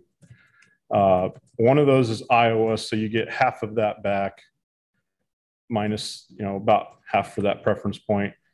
And then the other states, um, all the other states that have higher than we do, um, we're at 97. Uh, California stood out as the highest at 188.74. Um, several states also require non-residents to buy not just a hunting license, but a hunting license, fishing license combo. There's no non-resident annual hunting license available. Um, and uh, in running through some of these, uh, what stood out was the message that they uh, put in place. Um, California's was probably the most direct of this is not refundable. Um, thank you for supporting conservation. That's what you're investing in with this. Um, and those that do keep that fee also tended to have um, lower application fees is what it seemed like. Um, or they did not add on a bunch of additional stamps and fees that other states that did not did. And many times in those other cases, when they added additional stamps, like uh, the Dakotas usually had like a habitat stamp or conservation stamp. Um, none of those were refundable either. Okay. So, and and of all those, uh, Kansas far and away has the highest draw rate. Um, coming in several states, I could not calculate it because they did not do a statewide. Um, but our statewide draw odds are 73% versus Iowa's next closest of about 55%, although I noticed in looking at their draw odds, um, it tends to be that people that don't, that only have uh, zero, one, two to three points aren't putting in at the rate mm. you would expect um, for the number of those. Mostly people are waiting to actually try to draw until they have enough. Other than that, most states are in the, you know, 30% came up a few times, including some are 10. Um, Utah on their limited, uh, like their very limited entry, or even less than a percent. So, uh, okay. So Th- thank you, Levi. Okay. And so that's kind of the background uh, for the benefit of the commissioners and our our guests. Um, we realized that the, far and away the majority of folks were keeping those license fees. So we said that seems appropriate. So then that goes to Jessica and how you shared that information, Jessica. Can you guys hear me? Yeah. Okay, perfect. Thank you. Jessica Mounts, Director of Licensing. Buck, thank you so much for um, popping into the to the meeting tonight. Um, I, I know you talked with several of the team and Pratt, um, just as you mentioned, and I want to commend you on on how politely um, how politely you spoke with them and uh, and just you know for for sharing your story and and the reasons why you hunt. I mean that's why that's why we're here tonight is is because folks like you. So um, really appreciate you showing up. Um, I can tell you that this wasn't this wasn't an easy decision, and it's one that we involved the whole agency in over the course of several months. And we did some research on the background and what other states were doing and we took a look at the workload that it was causing you know to just do all those refunds and and um, and we we tried to just make a little bit more of a case for allowing um, allowing us to serve customers who who legitimately had an emergency develop that they just you know weren't able to use their permit um, but we did, in order to serve those folks and make sure that, they, that we can do that, we did have to make some concessions. And, and part of that is, um, is, is going to affect folks like you. But just as Levi said, the state of Kansas uses every single dollar of that hunting license to support wildlife, wildlife conservation, the opportunity to hunt for generations to come, especially on our public lands. And as a public land hunter, um, you know that um, Kansas is is 90% privately owned, and so those those little tiny um, you know by by ratios by comparison, those little tiny areas are just so important um, yes, to provide. Gold nuggets. yeah. Yeah. So I, I am curious, Buck, though. I, I'm wondering if you have thought about um, going ahead and coming to Kansas during doe season um, and purchasing an antlerless tag over the counter. because um, you're still able to do that. Your hunting license is still good for all 365 days it was before. I know it's a trip, but you know, if if you do want to take advantage of our public lands and you do want to harvest an animal this year, um, that is that is one solution that we could that uh, that you could have. Well, that that's good to know. Um, I, I, I was under the impression, of course, even like last last year or when I put in for the draw, um, I should have researched a little more. This year, with fuel prices and you know, I even was kind of reluctant if I even did get drawn this year. My wife's uncle, uh, he went up. I brought him up last year. He had never been there, and and we were out at the Pratt unit, which that's that's where I go. I, I love going to Pratt or Texas Lake, and um, I brought my wife's uncle up there, and he went up. You know, he went up there with me, and um, you know, um, you know, I noticed the deer numbers were down from what out there from what they used to be when I first started. Um, but he wanted to go, you know, try it out. And I told him, I said, hey, man, it ain't as easy as it used to be, you know, but, you know, it's still a, you know, experience, you know, um, the whole ball of wax, getting to see all the wildlife and stuff that you see. Um, and I, I would have, I, I was kind of reluctant because of the fuel prices the way they were, and it was kind of tight. Even I was kind of shocked because I, actually I've been very blessed. I've gotten drawed every time I've put in, which through the years is, you know, I, have been extremely blessed, you know, to get drawn. This is the first year, and it just kind of, I don't know, it just kind of got me whenever this was the first year I didn't get drawn, and I didn't get, you know, I'm losing out, you know, on you know, hundred, you know, right at hundred bucks, and you know, next year I know, but this year's times are kind of things are kind of tight. I was even reluctant about even putting in. Um, you know, but went ahead and put in because my wife's uncle wanted to go back. He's like, Hey, I want to go back. He didn't even get to kill a deer. He didn't kill a deer. He had opportunity. He's seen some nice, uh, two nice eight points and a couple other deer that he were, I'm a real big on trying to shoot mature deer, not shoot the juveniles, let them grow. Um, but he enjoyed it and he wanted to go back as well. We always go back at, you know, it's during muzzle loader seasons when we go. Um, but I thought since I didn't get drawn that hey, that's that's the end of it. You don't get to. So that might be something that I could talk to him and maybe me and him could, you know, split fuel or something to maybe go get a doe because the meat is a big thing as far as man. Uh, I will say this: that's the best eating deer meat that, uh, that I've ever eaten in my life. Is when I started hunting there.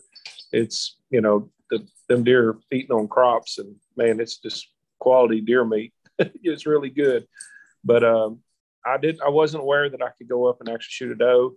Uh, I may consider it, kind of see how the fuel prices and how things go with finances, uh, and kind of go from there. But that, that is good to know that I'll get. I will kick that around and and and see if that's something that I can afford uh, during during the muzzleloader season. Okay, thank you. Any Sir. other public comment? And again, hey, uh, are y'all still there? Can I still? Hello. Yes. Yep, Yes. you're good. Hey, I just want to thank the commission again and and and and for letting me. I mean, I came. I told somebody the other day. I said, "Man, I almost feel bad being out of state, complaining about something like this, because I do know what other states charge, but I have to weigh it and say, okay, how much is this trip going to cost me? How much is this license going to cost me?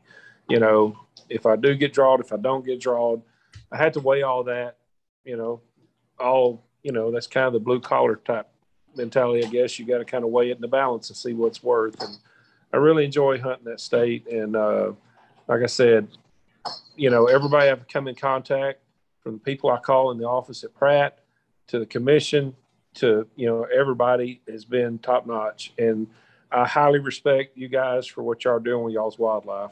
And, you know, I would love to see y'all Zoom meetings and the decisions. I mean, earlier today, y'all were talking about the turkey.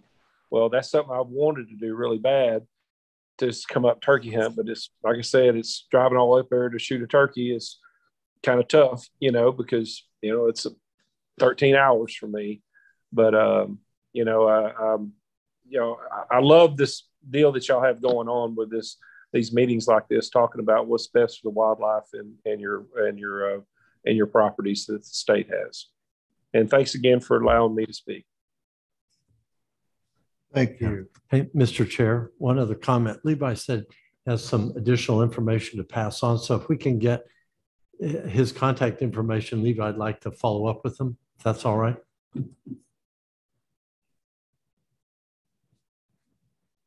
So Jason, you might just try to communicate with him about getting. Yep, I can. Okay, great. great. Texted, so. Good. And Shannon knows his stuff too, so. Any more public comment on non-agenda items? Sure.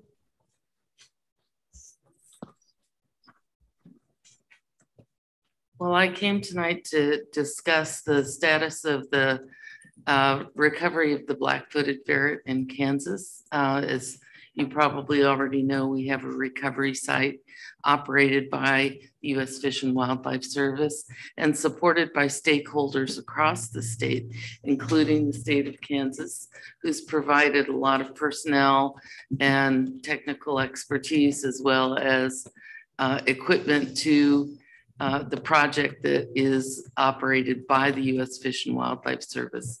Uh, the site is a 10,000 acre site out in Logan County. And, um, and that site has been going now since 2007.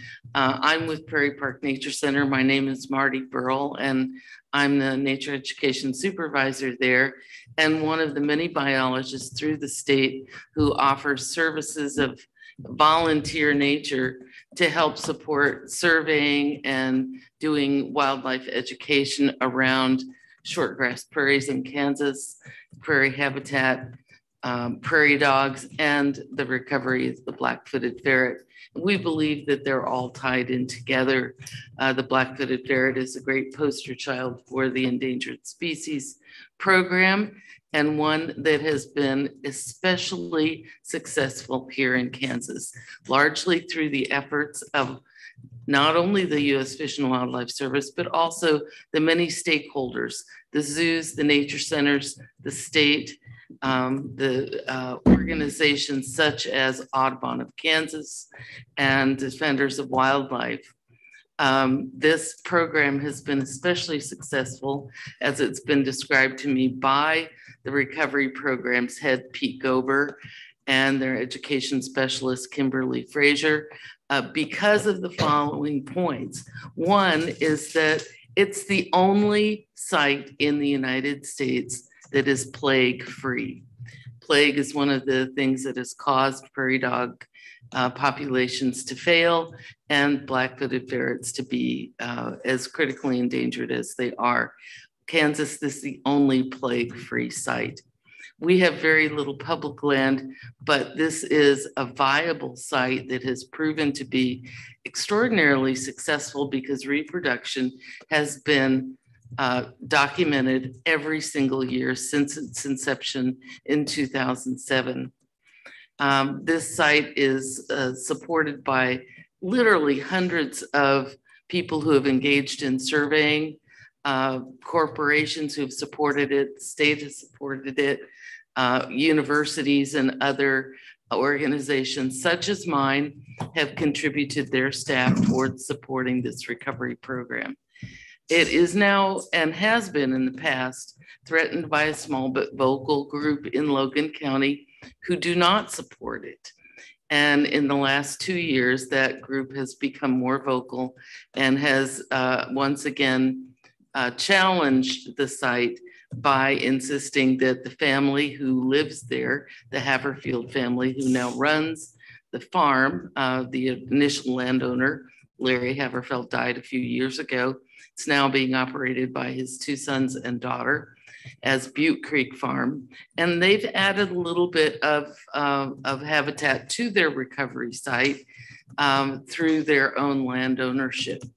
Um, the county is now reorganizing to try and oppose any further development of this recovery site.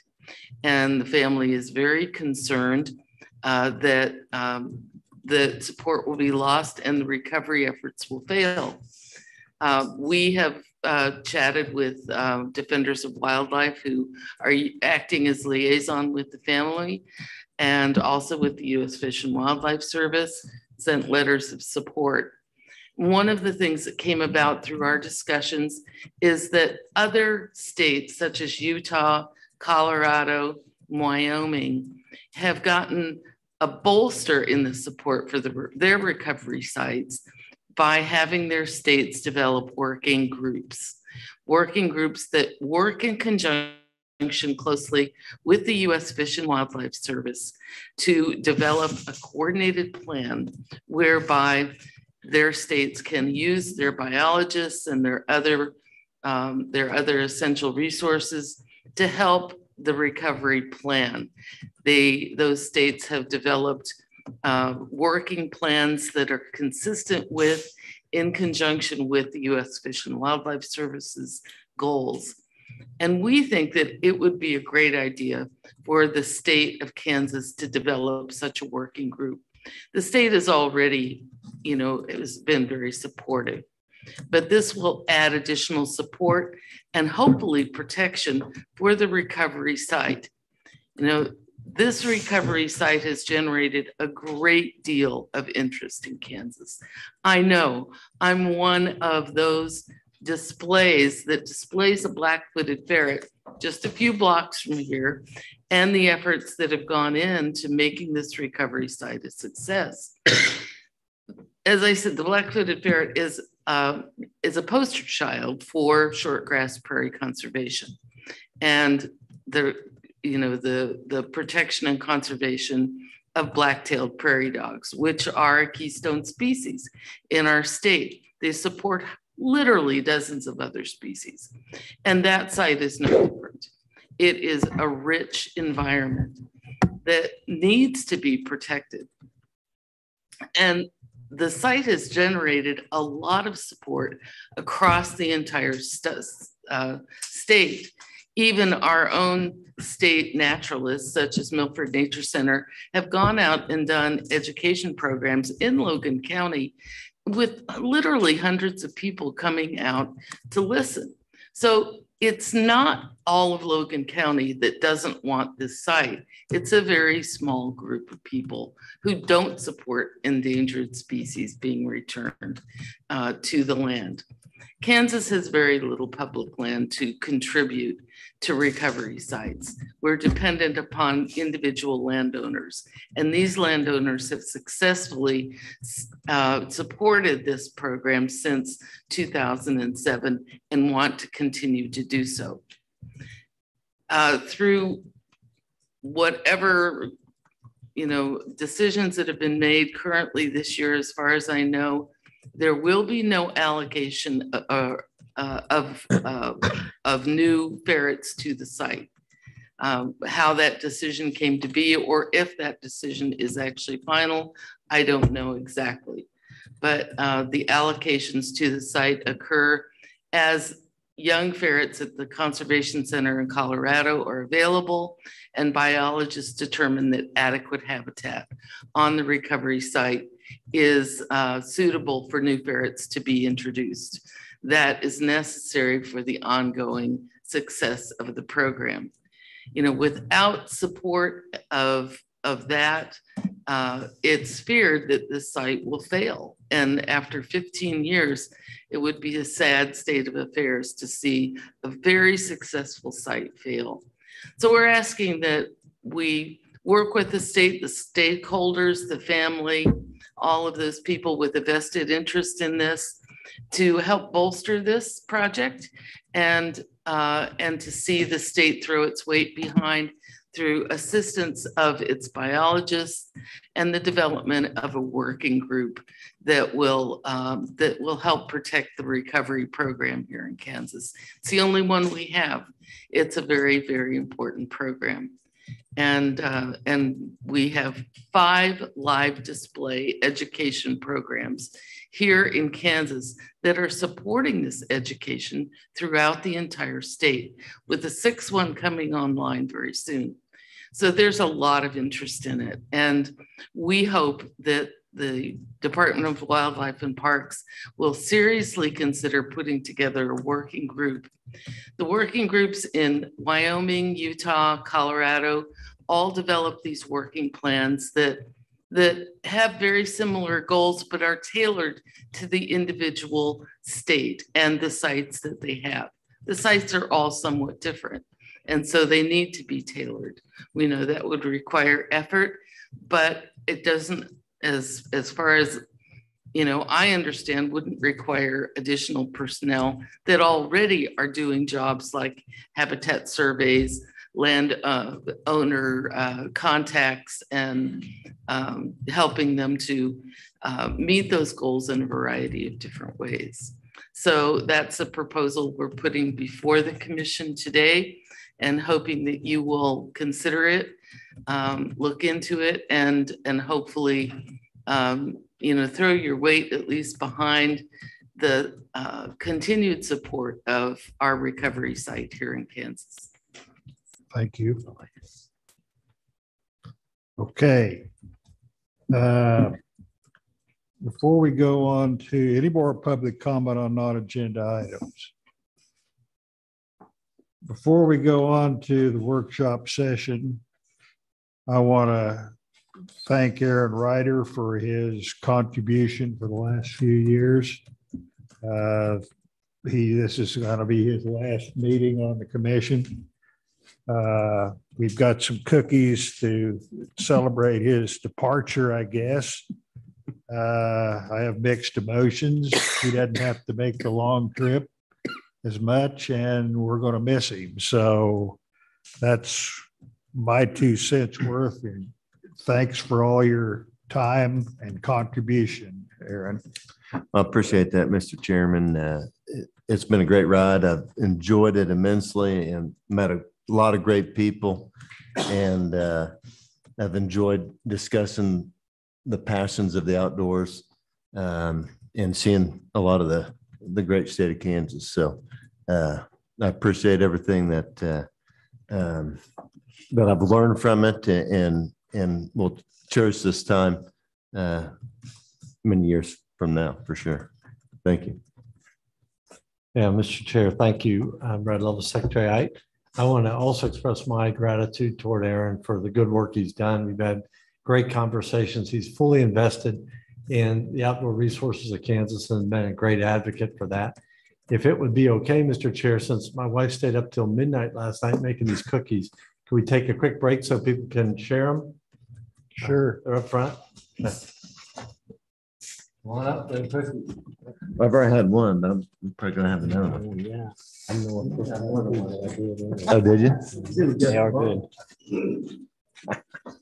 Let me try it. Well, tell your wife, thank you. That was Yeah. unnecessary.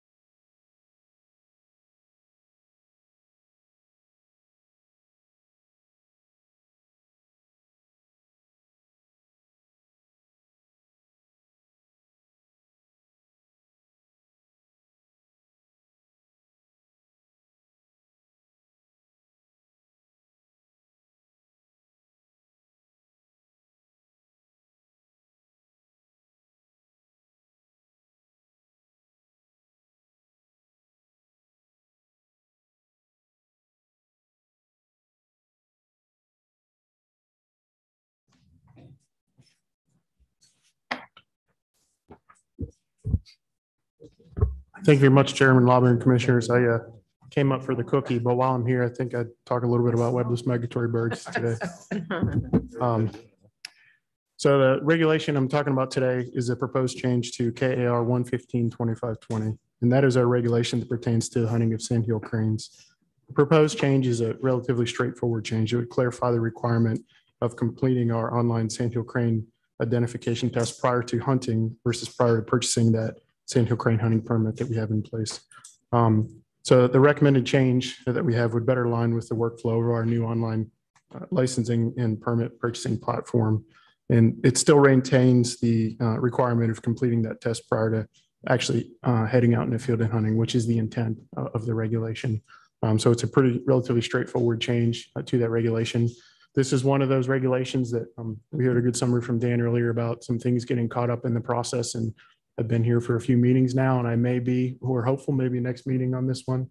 We'll see how things develop on that. So um, anyway, it, it is uh, something we're, we're hoping to get through uh, sometime soon, but I just want to give you a kind of a heads up on the timeline is to TBD at this point still. But uh, with that, I'm happy to stand for any questions you may have. Any questions for Rich? There won't be any questions to applicants about having, I mean, they can't say, well, oh, I didn't, I've got my license. Yeah, I no. Didn't- I mean, it'll Yep, be. Absolutely. blatantly In fact, I think I would uh, call the- this clarification makes it even more of a straightforward process than it would be previously. Yeah, so it'd help with that clarification rather than restrict. Okay. Thank you very much. Thank you. Stuart?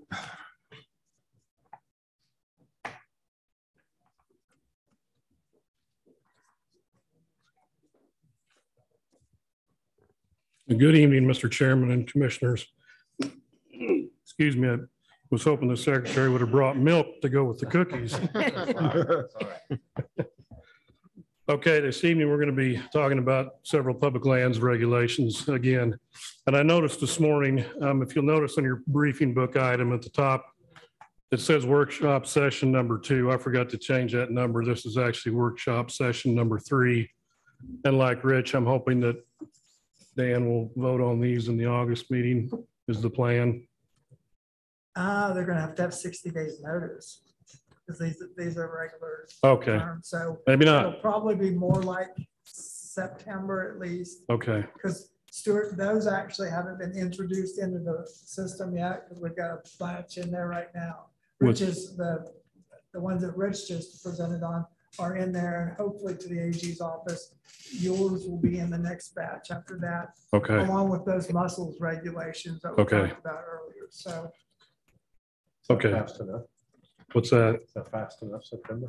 Well, yeah, I mean, hunting season will have started by then, but we have to go by the process. So, I mean, and if there's ever a time when it's necessary, we can, we can get emergency regs also. That's the, the people in the process don't like that, but if it's genuinely an emergency, that's another option.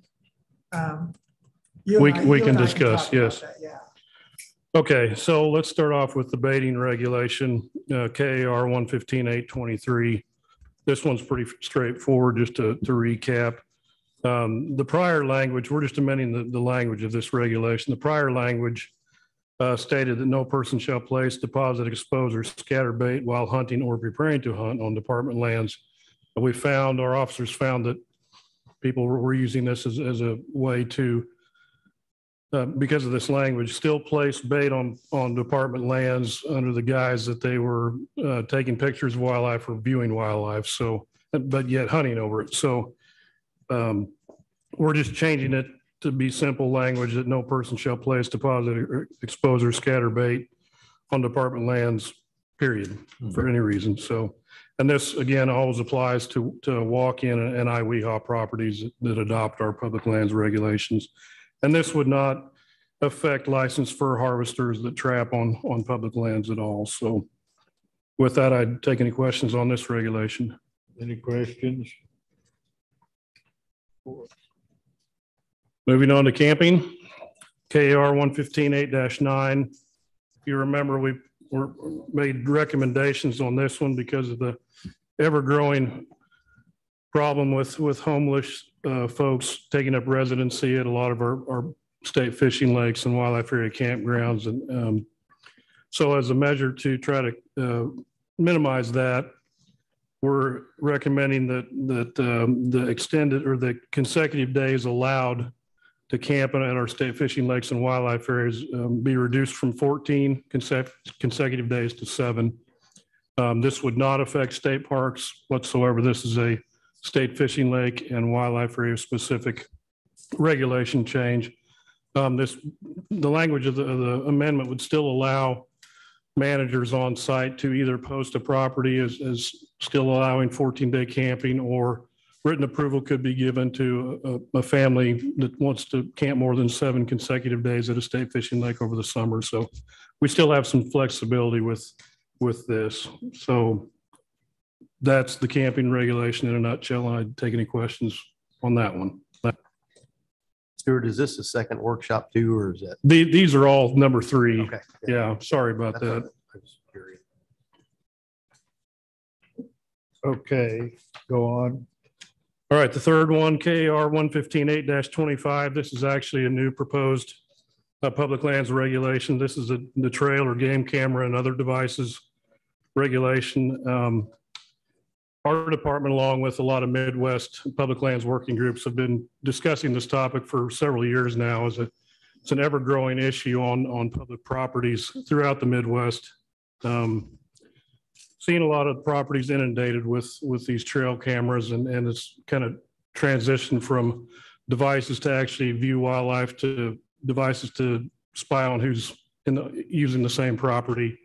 Um, a rise in reports of theft of these trail cameras, misuse of the trail cameras, um, inundating, pro- you know, tracts of wildlife areas, uh, monopolizing tracts of wildlife areas with one individual's uh, trail cameras. So, and also staff and the Midwest Working Group also discussed the fair chase, fair chase issues um, under the, the North American model of wildlife conservation. So we're proposing that all trail cameras um, be prohibited on department lands. Um, and part of this too would include the use of, use images of wildlife produced or transmitted from satellite um, imagery as well, so that people couldn't get real-time live shots of wildlife on a wildlife area with a handheld device or anything like that. This would not preclude, preclude, preclude the use of mapping systems like Google Maps, OnX Maps, things like that, that hunters um, use a lot of. So, and again, this would also apply to WIHA and iWIHA properties. Um, so with that, I'd stand for any questions on the trail cam regulation. Any questions for Stuart on that? Is this number one? For workshop? Yes. This is number three, too. Number three, two? Okay. Yep. This is gonna get workshop death.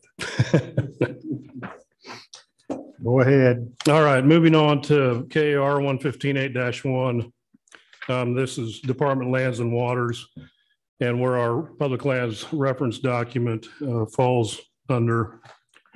I'll just quickly go over the, the different sections and subsections that we're proposing to, to amend. Uh, the first one under uh, access restrictions. I'd mentioned in previous meetings that we had entertained the idea of possibly implementing a five AM. um, Can't get into the, into the, into the water uh, on the bottoms before five AM, similar to what you all passed at Neosho a year ago. And staff there at the bottoms um, met and discussed that numerous occasions, and they felt like because of the, the construction that the bottoms is under, the, the presence of whooping cranes last year and dry pools, they really didn't get a good uh, handle on the, the boating regulations and restrictions that you guys passed there to see if that helped with some of the issues that we were facing. So they, they chose to just have no recommendations at this time on that access restriction. Um, under the refuge uh, section here, the only change is under Region Three, Cherokee Lowlands Wildlife Area. And I apologize, I forgot to include the map that I provided you at the last workshop session this round. But now that we've, we've acquired additional acreage down there through NRDA donations, um, we feel like we have enough acreage that a, a refuge portion is designated like all of our other wildlife areas Uh, so that'd be the Perkins East and the Bogner Center tracks. And at the next meeting, I will bring maps to, to remind you where those specific tracks are. And then under the daily hunt permits section, um, we've been discussing this for quite some time too, and, and we decided now that we're that we've transitioned to the Brandt licensing system, that now would be an optimum time to uh, have check-in and check-out requirements at all of our, our wildlife areas. Um, we've all seen the how crucial the data that, that we've obtained for a lot of our wetland properties has been with many of the discussions we've had here at these commission meetings. Um, and so we made the decision that now's the time to to add all of our wildlife areas to the check-in and check-out Brandt process. And but for now, this would just be for hunting activity only.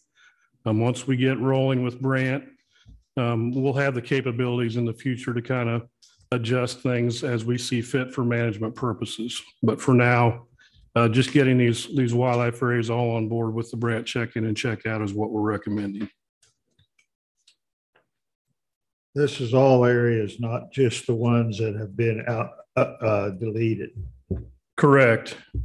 We, before we just listed all the properties where iSportsman was required, we lined through all those properties and just um, added the language that all department managed lands and waters, wildlife areas and state fishing lakes will require it, and I we iWIHA. Any other questions for Stuart? Well, we'll see you back here in a month to workshop this again. Yeah, lastly, uh, Mr. Chairman, I just wanted to mention this came up at the commission meeting in Beloit and we had some internal conversations about our special hunts program and whether non-residents were allowed to participate in those. And up until this point, they have been uh, allowed to, to participate and apply. Um, but after surveying all the staff involved with these special hunts and talking with administration, um, we've made the, the decision that starting in, for this fall and winter 22, 23 hunts, that 75 to 80, 80% of them will be restricted to Kansas applicants only. Um, there'll still be a, that small portion that'll be open to everybody. Um, some staff felt pretty strongly, especially here in the east, that if we close those hunts down to non-residents, we won't get anybody apply because historically that's predominantly been their applicants is non-residents. So we want to try out this, um, see how participation goes. We're really going to, I've talked to Tana and and we want to really make a good public uh, release campaign to make sure that Kansas residents know that this is the decision we've made and that these hunts are available. And we, we encourage Kansas residents to participate. One thing that staff did indicate to me that we're going to monitor is they felt like our local Kansas residents are more inclined to not show up to a hunt that they've drawn. They don't have as much vested interest as a non-resident who's driven from out of state, spent the time, spent the money. They're going to show up to our hunts where it's easier for a local to say, ah, I got a ball game to go to. I can't make it. And so then we have an unfilled, unused hunt. So we felt and staff felt like this was a, a worthy endeavor to try. And so that's that's the direction we're going for the 23 or 22 and 23 fall and winter hunts. And we're hoping to to get those posted online, I believe Jason around July 9th, 8th, 9th time period. And there'll be um, specific highlighted instructions that this change is occurring for this uh, special hunt program year. So um, and lastly, I wanted to mention too, and I mentioned it this morning, but at the, at the Beloit Commission meeting, I mentioned that staff at this time don't have any uh, specific recommendations when it comes to the non-resident waterfowl hunting issue on, on public wetlands, but rest assured that the conversation has not stopped and will not stop. Um, we, it's, it's the hot topic still in our division. And my goal is to continue to look into things and and have some some definitive paths kind of lined out. If, if staff do come to me with recommendations, we'll know which way to go, whether it be through the regulate regulatory process or the Kansas statute through the legislative process. So we'll, we're continuing to discuss public meetings. We're going to be having a public information night at Cheyenne Bottoms mid-August that everybody, I encourage them to, to come to. We're uh, discussing other public meetings. We're, we're still talking about the survey through Rich's shop the, on the human dimension side of things. So I just wanted to reiterate um, that this, we're still actively talking about this and, and um, we'll continue to do so in the future. So with that, I'd stand for any last questions. Any more questions? I appreciate the opportunities for the Kansas residents on those special hunts.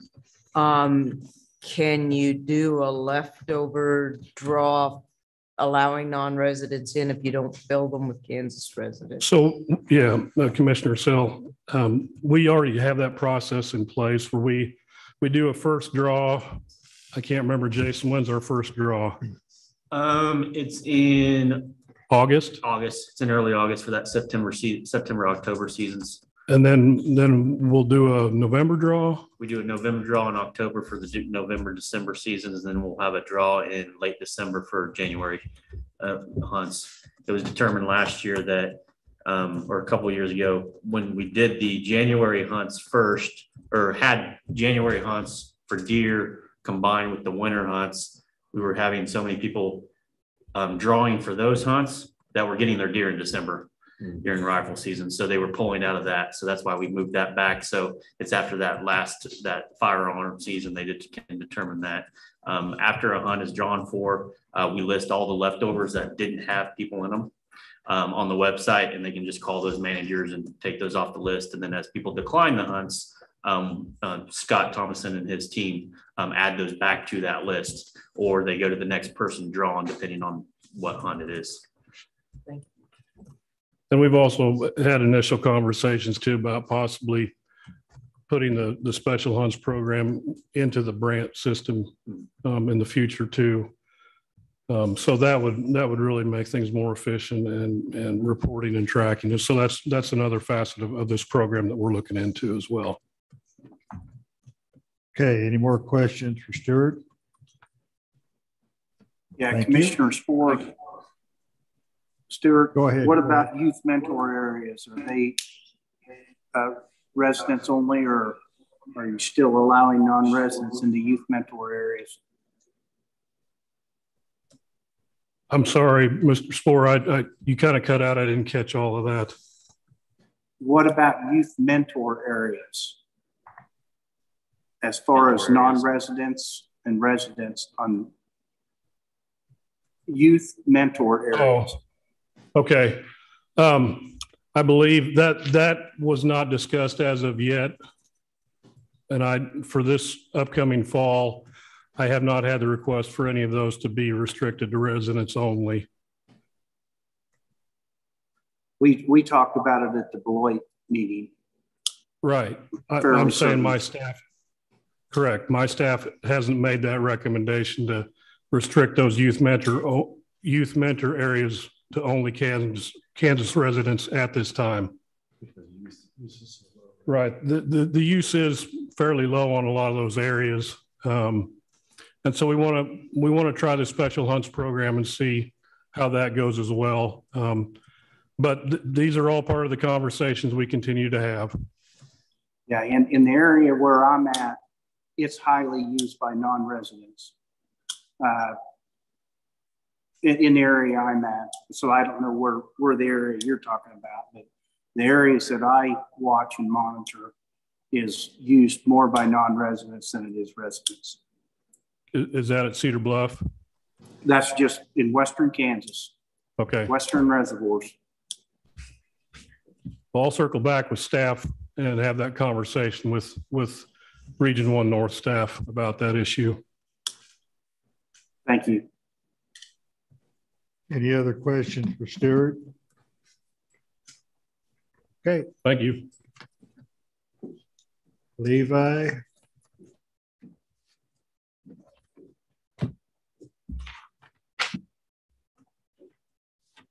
Thank you, Mr. Chairman. Uh, Levi Jaster, Emporia, Kansas. Um, so first thing I have tonight is KAR 115-25-9A uh, which is our uh, deer seasons and bag limits on our military subunits. Um, Typically, we vote on this at this meeting um, with the differences or things going on with regulations. Um, we're gonna workshop this a third time. I think, are we gonna get this one in Should be in August? August. Should be in August. Um, so this just sets, uh, season dates, uh, and bag limits with those subunits, uh, working with them to try and, uh, help them meet their mission needs, but also to uh, allow some additional opportunity to hunt and for hunters to access those properties. Uh, so Smoky Hill uh, just requests basically the same as statewide seasons, uh, set in one fifteen twenty-five nine. Uh, and then they want the uh, five whitetail antlerless only permits on their subunit, which is the same as the subunit they're in, or the, the DMU that they're in uh, for.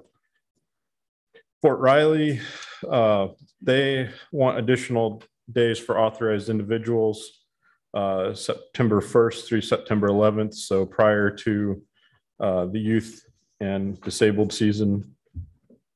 And the, and then from January 1st to January 31st. Um, And then uh, they'll have additional days for that designated persons, uh, youth and dis, people with disabilities from October 8th through October 10th, uh, which will replace the pre-rut firearm season for antlerless whitetail deer, uh, which they will not have. Uh, Firearm season dates are November 25th through November 27th, December 17th through December 23rd, and December 26th through December 27th. Um, Same number of days as the statewide season, just rearranged when they're available. Um, But that also can give uh, some of our hunters additional dates to uh, firearm hunt uh, beyond our state, regular statewide season too. Uh, And then they are not going to participate in the antlerless season in January um, and only allow, and they'd like to only allow one antlerless deer permit. That then takes us to Fort Leavenworth. Um, Their uh, variation from our statewide seasons include uh, open firearm seasons on November 12th through November 13th, November 19th through November 20th, November 24th through November 27th, December 3rd through December 4th, and December 10th through December 11th. Uh, Again, same number of days, just rearranged when they're uh, used. And then they will, they would like to be in the longest extended season, uh, which is January 1st through January 22nd of 2023. Uh, And then also participate in the extended archery season um, from January 23rd through January 31st for antlerless white-tailed deer. And then they will, uh, they want to be able to use their uh, five antlerless only permits on uh, their subunit 10A. Uh, And so with that, that's the recommended uh, military subunit dates and bag limits. Any questions for Levi? Let's move on. Thank you, Mr. Chairman. Uh, The next one I have is KR 115-4-11, uh, which is big game wild turkey permit applications. Um, I think this is workshop number 432 or something like that. Uh, I think we started uh, last fall with this. um, But this will not go into effect this year with the draw already over, it'd be implemented for next year's draw. Um, and so uh, we've had issues where we're concerned about point creep. Um, the last several years, we're seeing significant increases in pronghorn hunting applications. Um, also with people uh, purchasing archery permits. And so uh, last year, or last few years, we've reduced um, the uh, limited draw permits by about 20% for last year. Um, Currently, it's taking about six preference points to obtain a firearms permit to hunt uh, pronghorn. And uh, one of the things that can happen is that a hunter can apply for that limited firearms permit, uh, not draw and get a preference point, and then still buy an over-the-counter archery tag. So that's uh, in- increasing the uh, preference points needed over time. Um, and so with that increase in popularity of archery hunting for pronghorn, um, we'd like to remove the ability to get a preference point if you also get a archer, get a archery permit. So you can either apply for the limited permit and get, and take that permit if you receive it, or take a preference point and not get to hunt pronghorn that year, or you can give up that preference point if you did uh, submit an application uh, and get an archery tag. Um, and so just addressing that ability to double dip, um, you can see some of the increase in applications and permits uh, there um, and how that's affected uh, permits and harvest over time. Um, so again, the recommendation here is to modify this regulation so that pronghorn hunters must either get an archery permit or apply for a limited draw permit. They would not be able to apply for the firearm or muzzleloader permit or buy a preference point and also purchase an archery permit during the same season. Any questions for Levi? Well, you're up next for the public hearing. The, uh, so for uh, public hearing tonight, uh, it's uh, 115-4-6, which is our deer management units. Um, Here, what we need to do is just clean up some uh, boundaries, uh, specifically under uh, section E, the Pawnee Unit 5. um, The uh, K-14 was, had some work done. They've uh, built a different section, taking it um, on a different route, and so it moved the boundary of the unit. Um, And so all this does is uh, clarify the road names so that the boundary stays where it had been. Um, So specifically, uh, it's the junction of uh, Sego Road, and then south on that to its junction with US 50 after, when it changes from K14 to Sego Road. And then uh, that then also affects the, uh, in section F, the Middle Arkansas Unit Number Six. Uh, And so that's that Sego Road and then north on Sego Road to junction with K14. Um, Just basically uh, because of the name, the rerouting of K14 just changes that name. And then um, additionally, on section K, which is the Osage Prairie Unit 11, uh, last year, uh, we recently, we changed the, two years ago, we changed the boundary uh, for the Unit 19 uh, zone. And that then affected Unit 11. Um, And so uh, this is just clarifying that uh, Highway K 150 is no longer, uh, it's now Johnson County 135th Street. It's no longer Highway K 150. And so when we made the change previously in the other units, we did not uh, get that language changed for Unit 11. So that shared boundary. Um, This is just clarifying the actual street name since it is no longer that name. Um, And so that would be the changes for the DMU uh, unit boundaries, just cleaning up the names so that they're clear of where, what roads are. Any bounded. question for Levi? Not, I would like a motion that we, re- that we accept these changes. Commissioner Sill, I so move. Commissioner Escareno, I second. It's Been moved and seconded. Is there any more discussion? Sheila? Commissioner Cross, Yes. Commissioner Escareno, Yes. Commissioner Gfeller, Yes.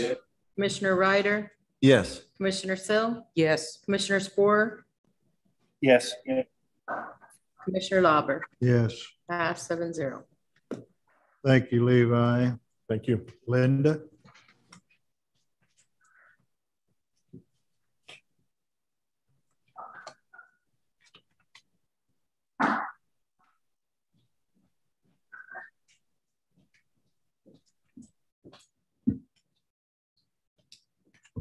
Okay, thank you, Mr. Chair, members of the commission and the visiting public. Jason, do you have a PowerPoint ready for me?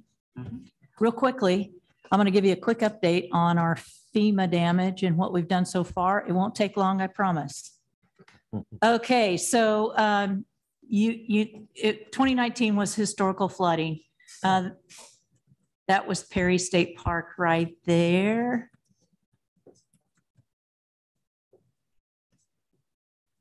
And so um, I just want to go over a few things that I thought you might find interesting uh, to watch. I'll let you click it. Try it now.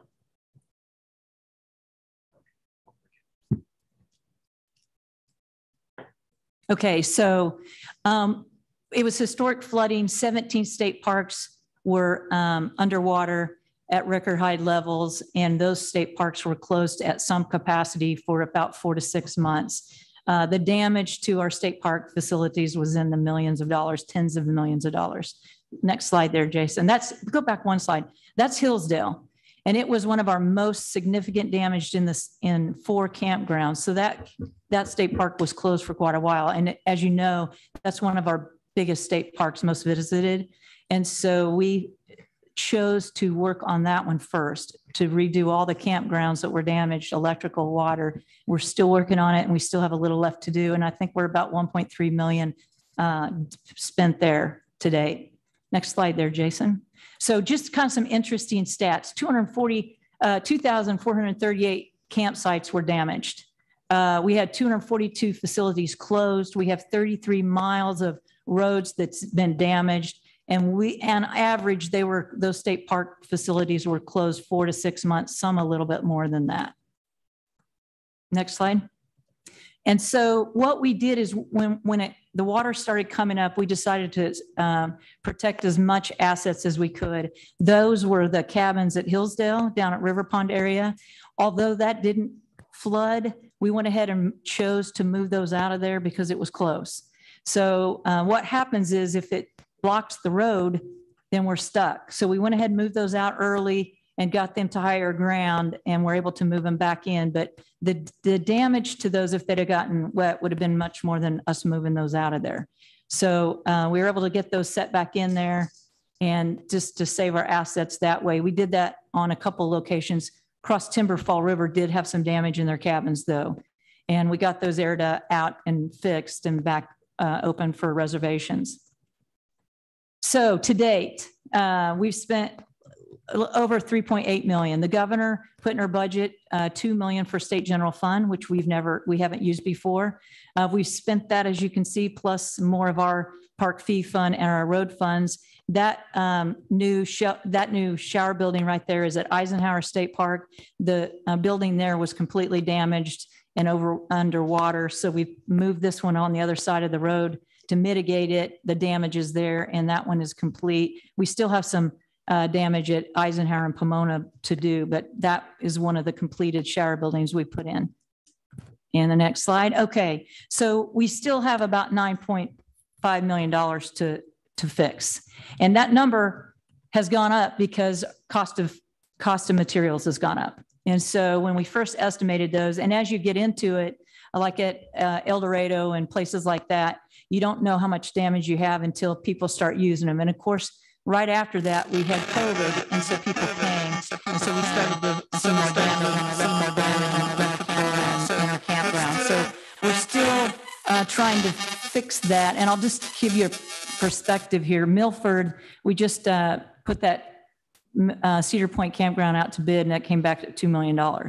So that's significantly higher than the engineer's estimate, but it's your cost of materials now. We have about 2.8 million we still need to do at Kanopolis. Um, another big one that, that at Hillsdale, we'll, we'll spend probably over 1.5 million just at Hillsdale alone.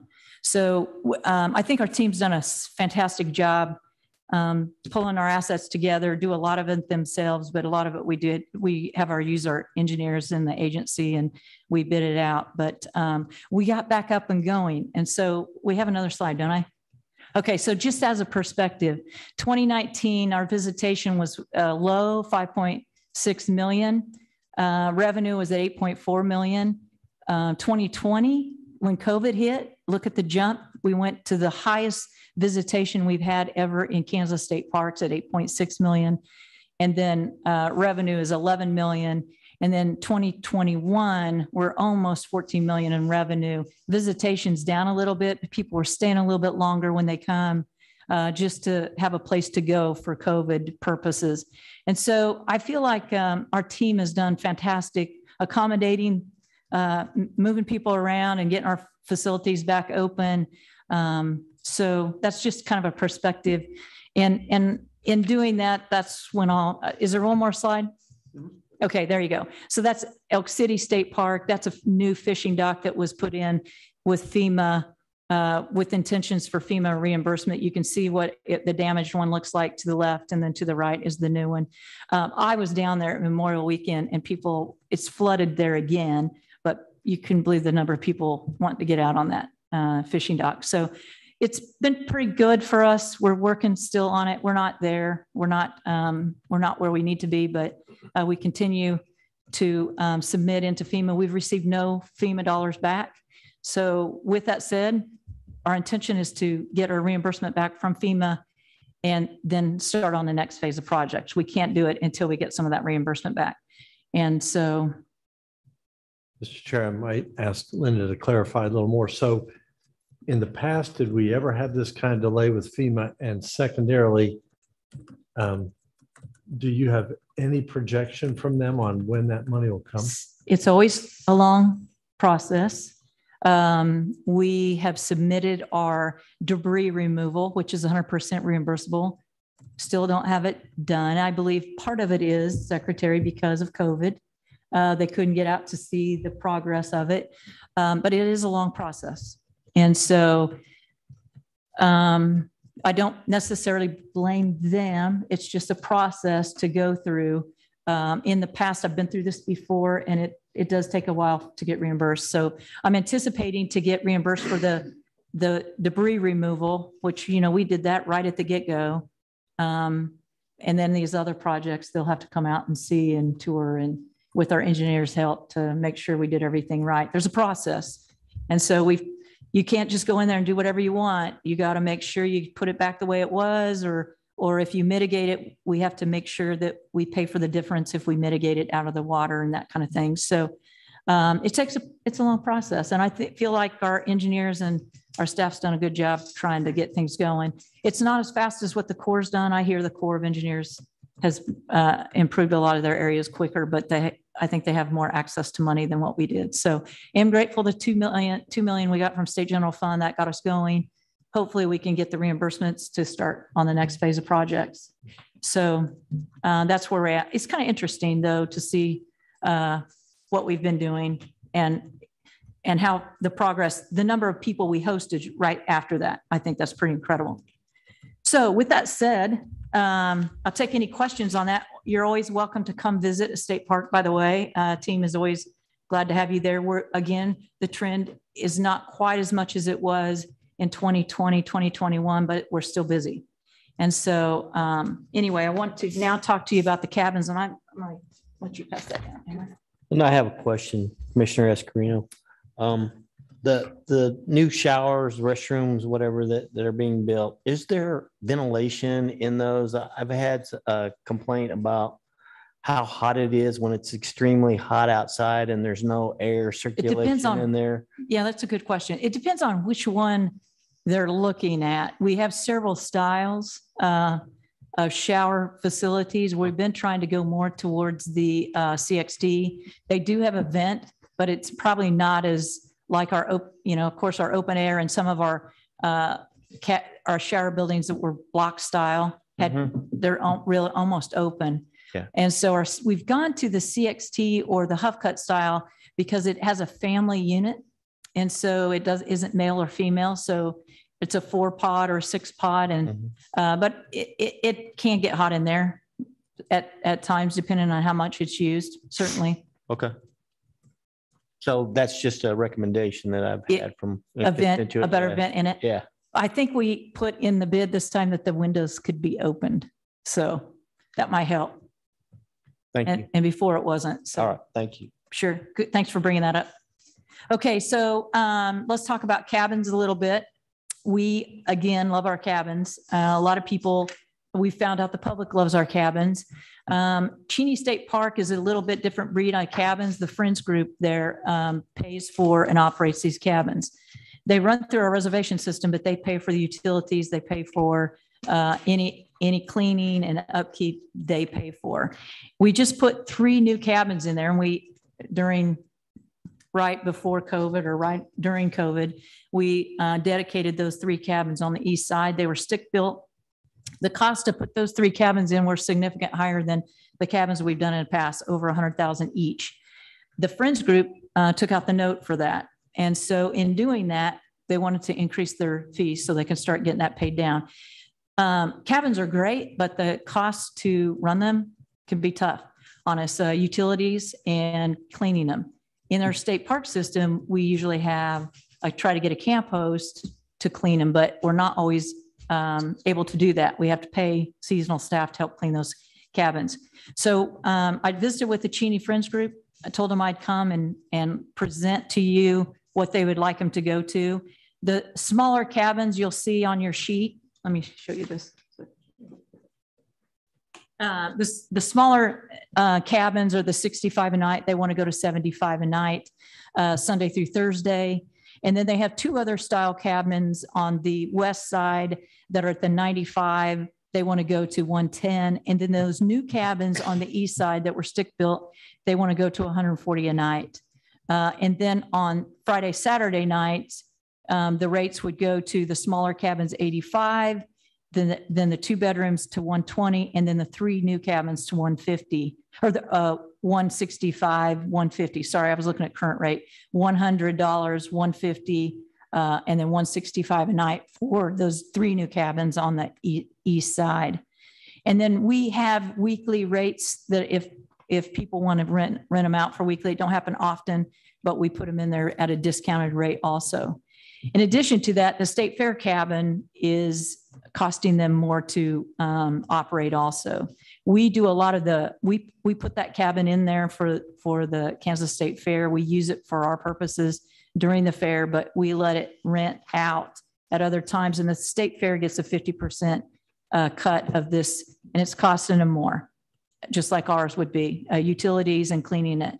Uh, we do any of the major maintenance on it, but it's still costing them more. So we want to go up to 95 and 120 uh, on the weekends for the uh, Kansas State Fair cabin. So now with that, I would take any questions. Do they say, what's it like seasonally? Um, So then three new cabins at Cheney. It's a good question, uh, Commissioner Sill. Um, they're at uh, over 80% on weekend. Uh, it's hard to get in. Year round? Uh, year round. It is. It's tough to get in those. Uh, they're at 80% occupancy.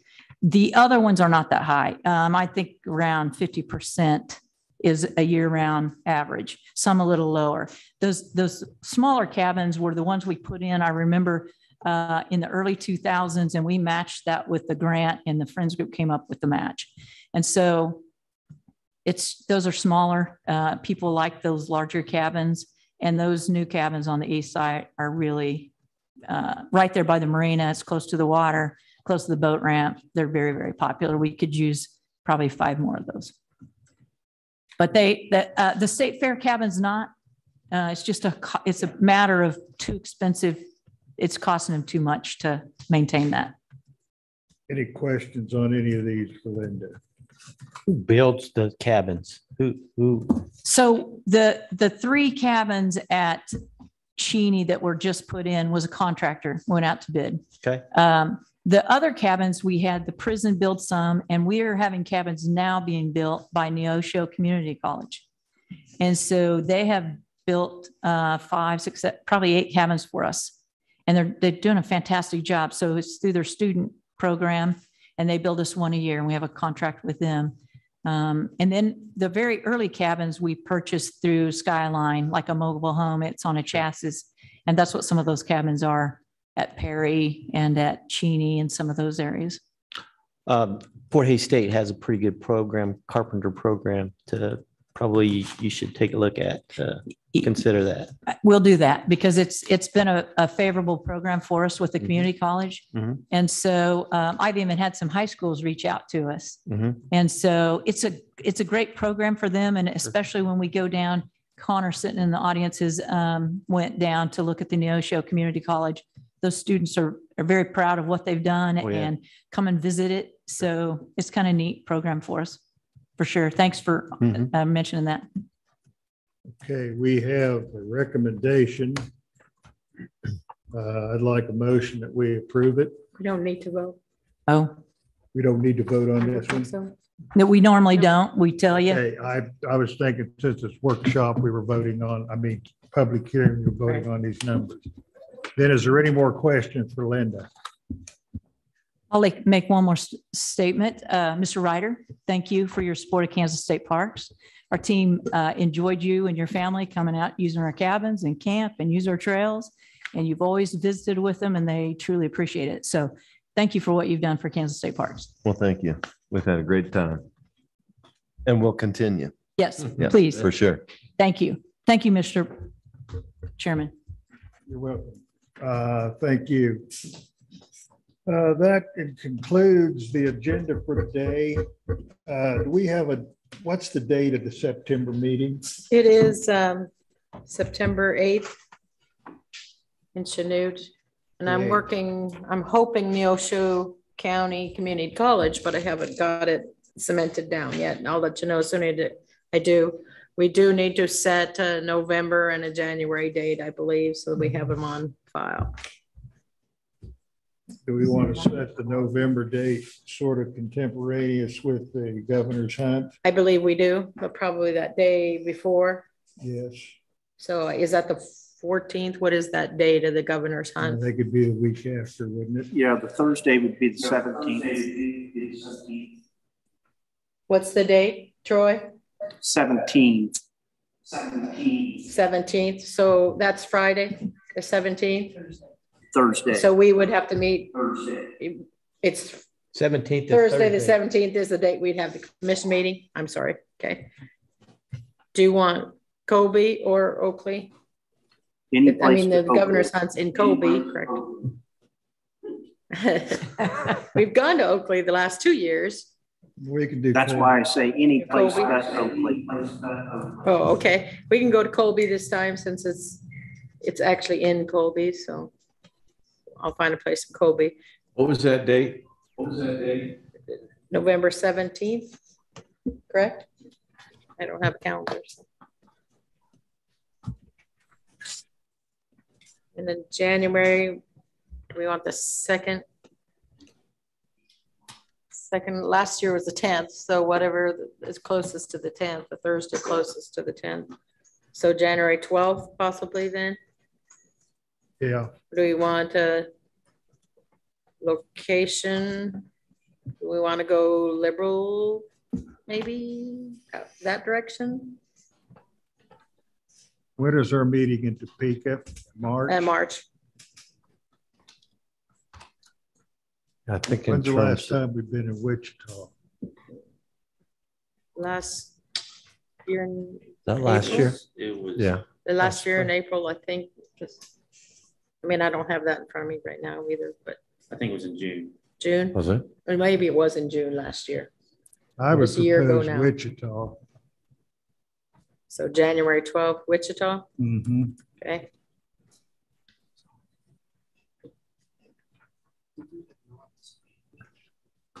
Yes, August fourth. Okay. It's on the Fourth, and that Hutchinson. is at Hutchinson. You know, August fourth in Hutchinson at the Dillon Nature Center. I have one other item I'd like to consider, and we can discuss it at the next meeting. We've been having more after, after six thirty than we used to. We want to consider keeping the afternoon schedule a little lighter and having the evening session begin to start at six o'clock instead of six thirty. You can all think about that, and we'll bring it up again at the next meeting. Yeah, this is Commissioner Sporer. Uh, I, I would make a proposal. We, we, our, our afternoon session was three hours and the evening session was an hour and a half. What would be wrong with starting at 10 to noon and finishing up one to three and everybody could still get home by dark?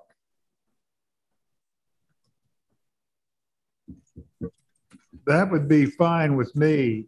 The, the biggest difficulty I can see is that we try to have an evening session so that people are in the area and want to come and make a presentation or come personally. It would be, uh, they could do it when they didn't have to go to work. And I think that's the reason it started. I'm not saying it has to remain that way. Well, I would, I would recommend the change uh, for, for just ease of travel, the lack of having to get overnight travel. Everybody can get to a location usually by 10 o'clock. And then obviously we could get home by dark. It sure makes a lot of sense to me, but of course, a lot of things make sense to me that don't work.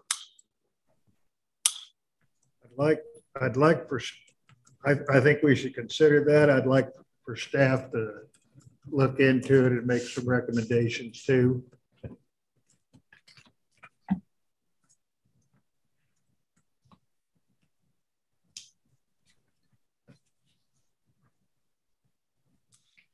Thank you, Troy. Are there any other questions to come before the group?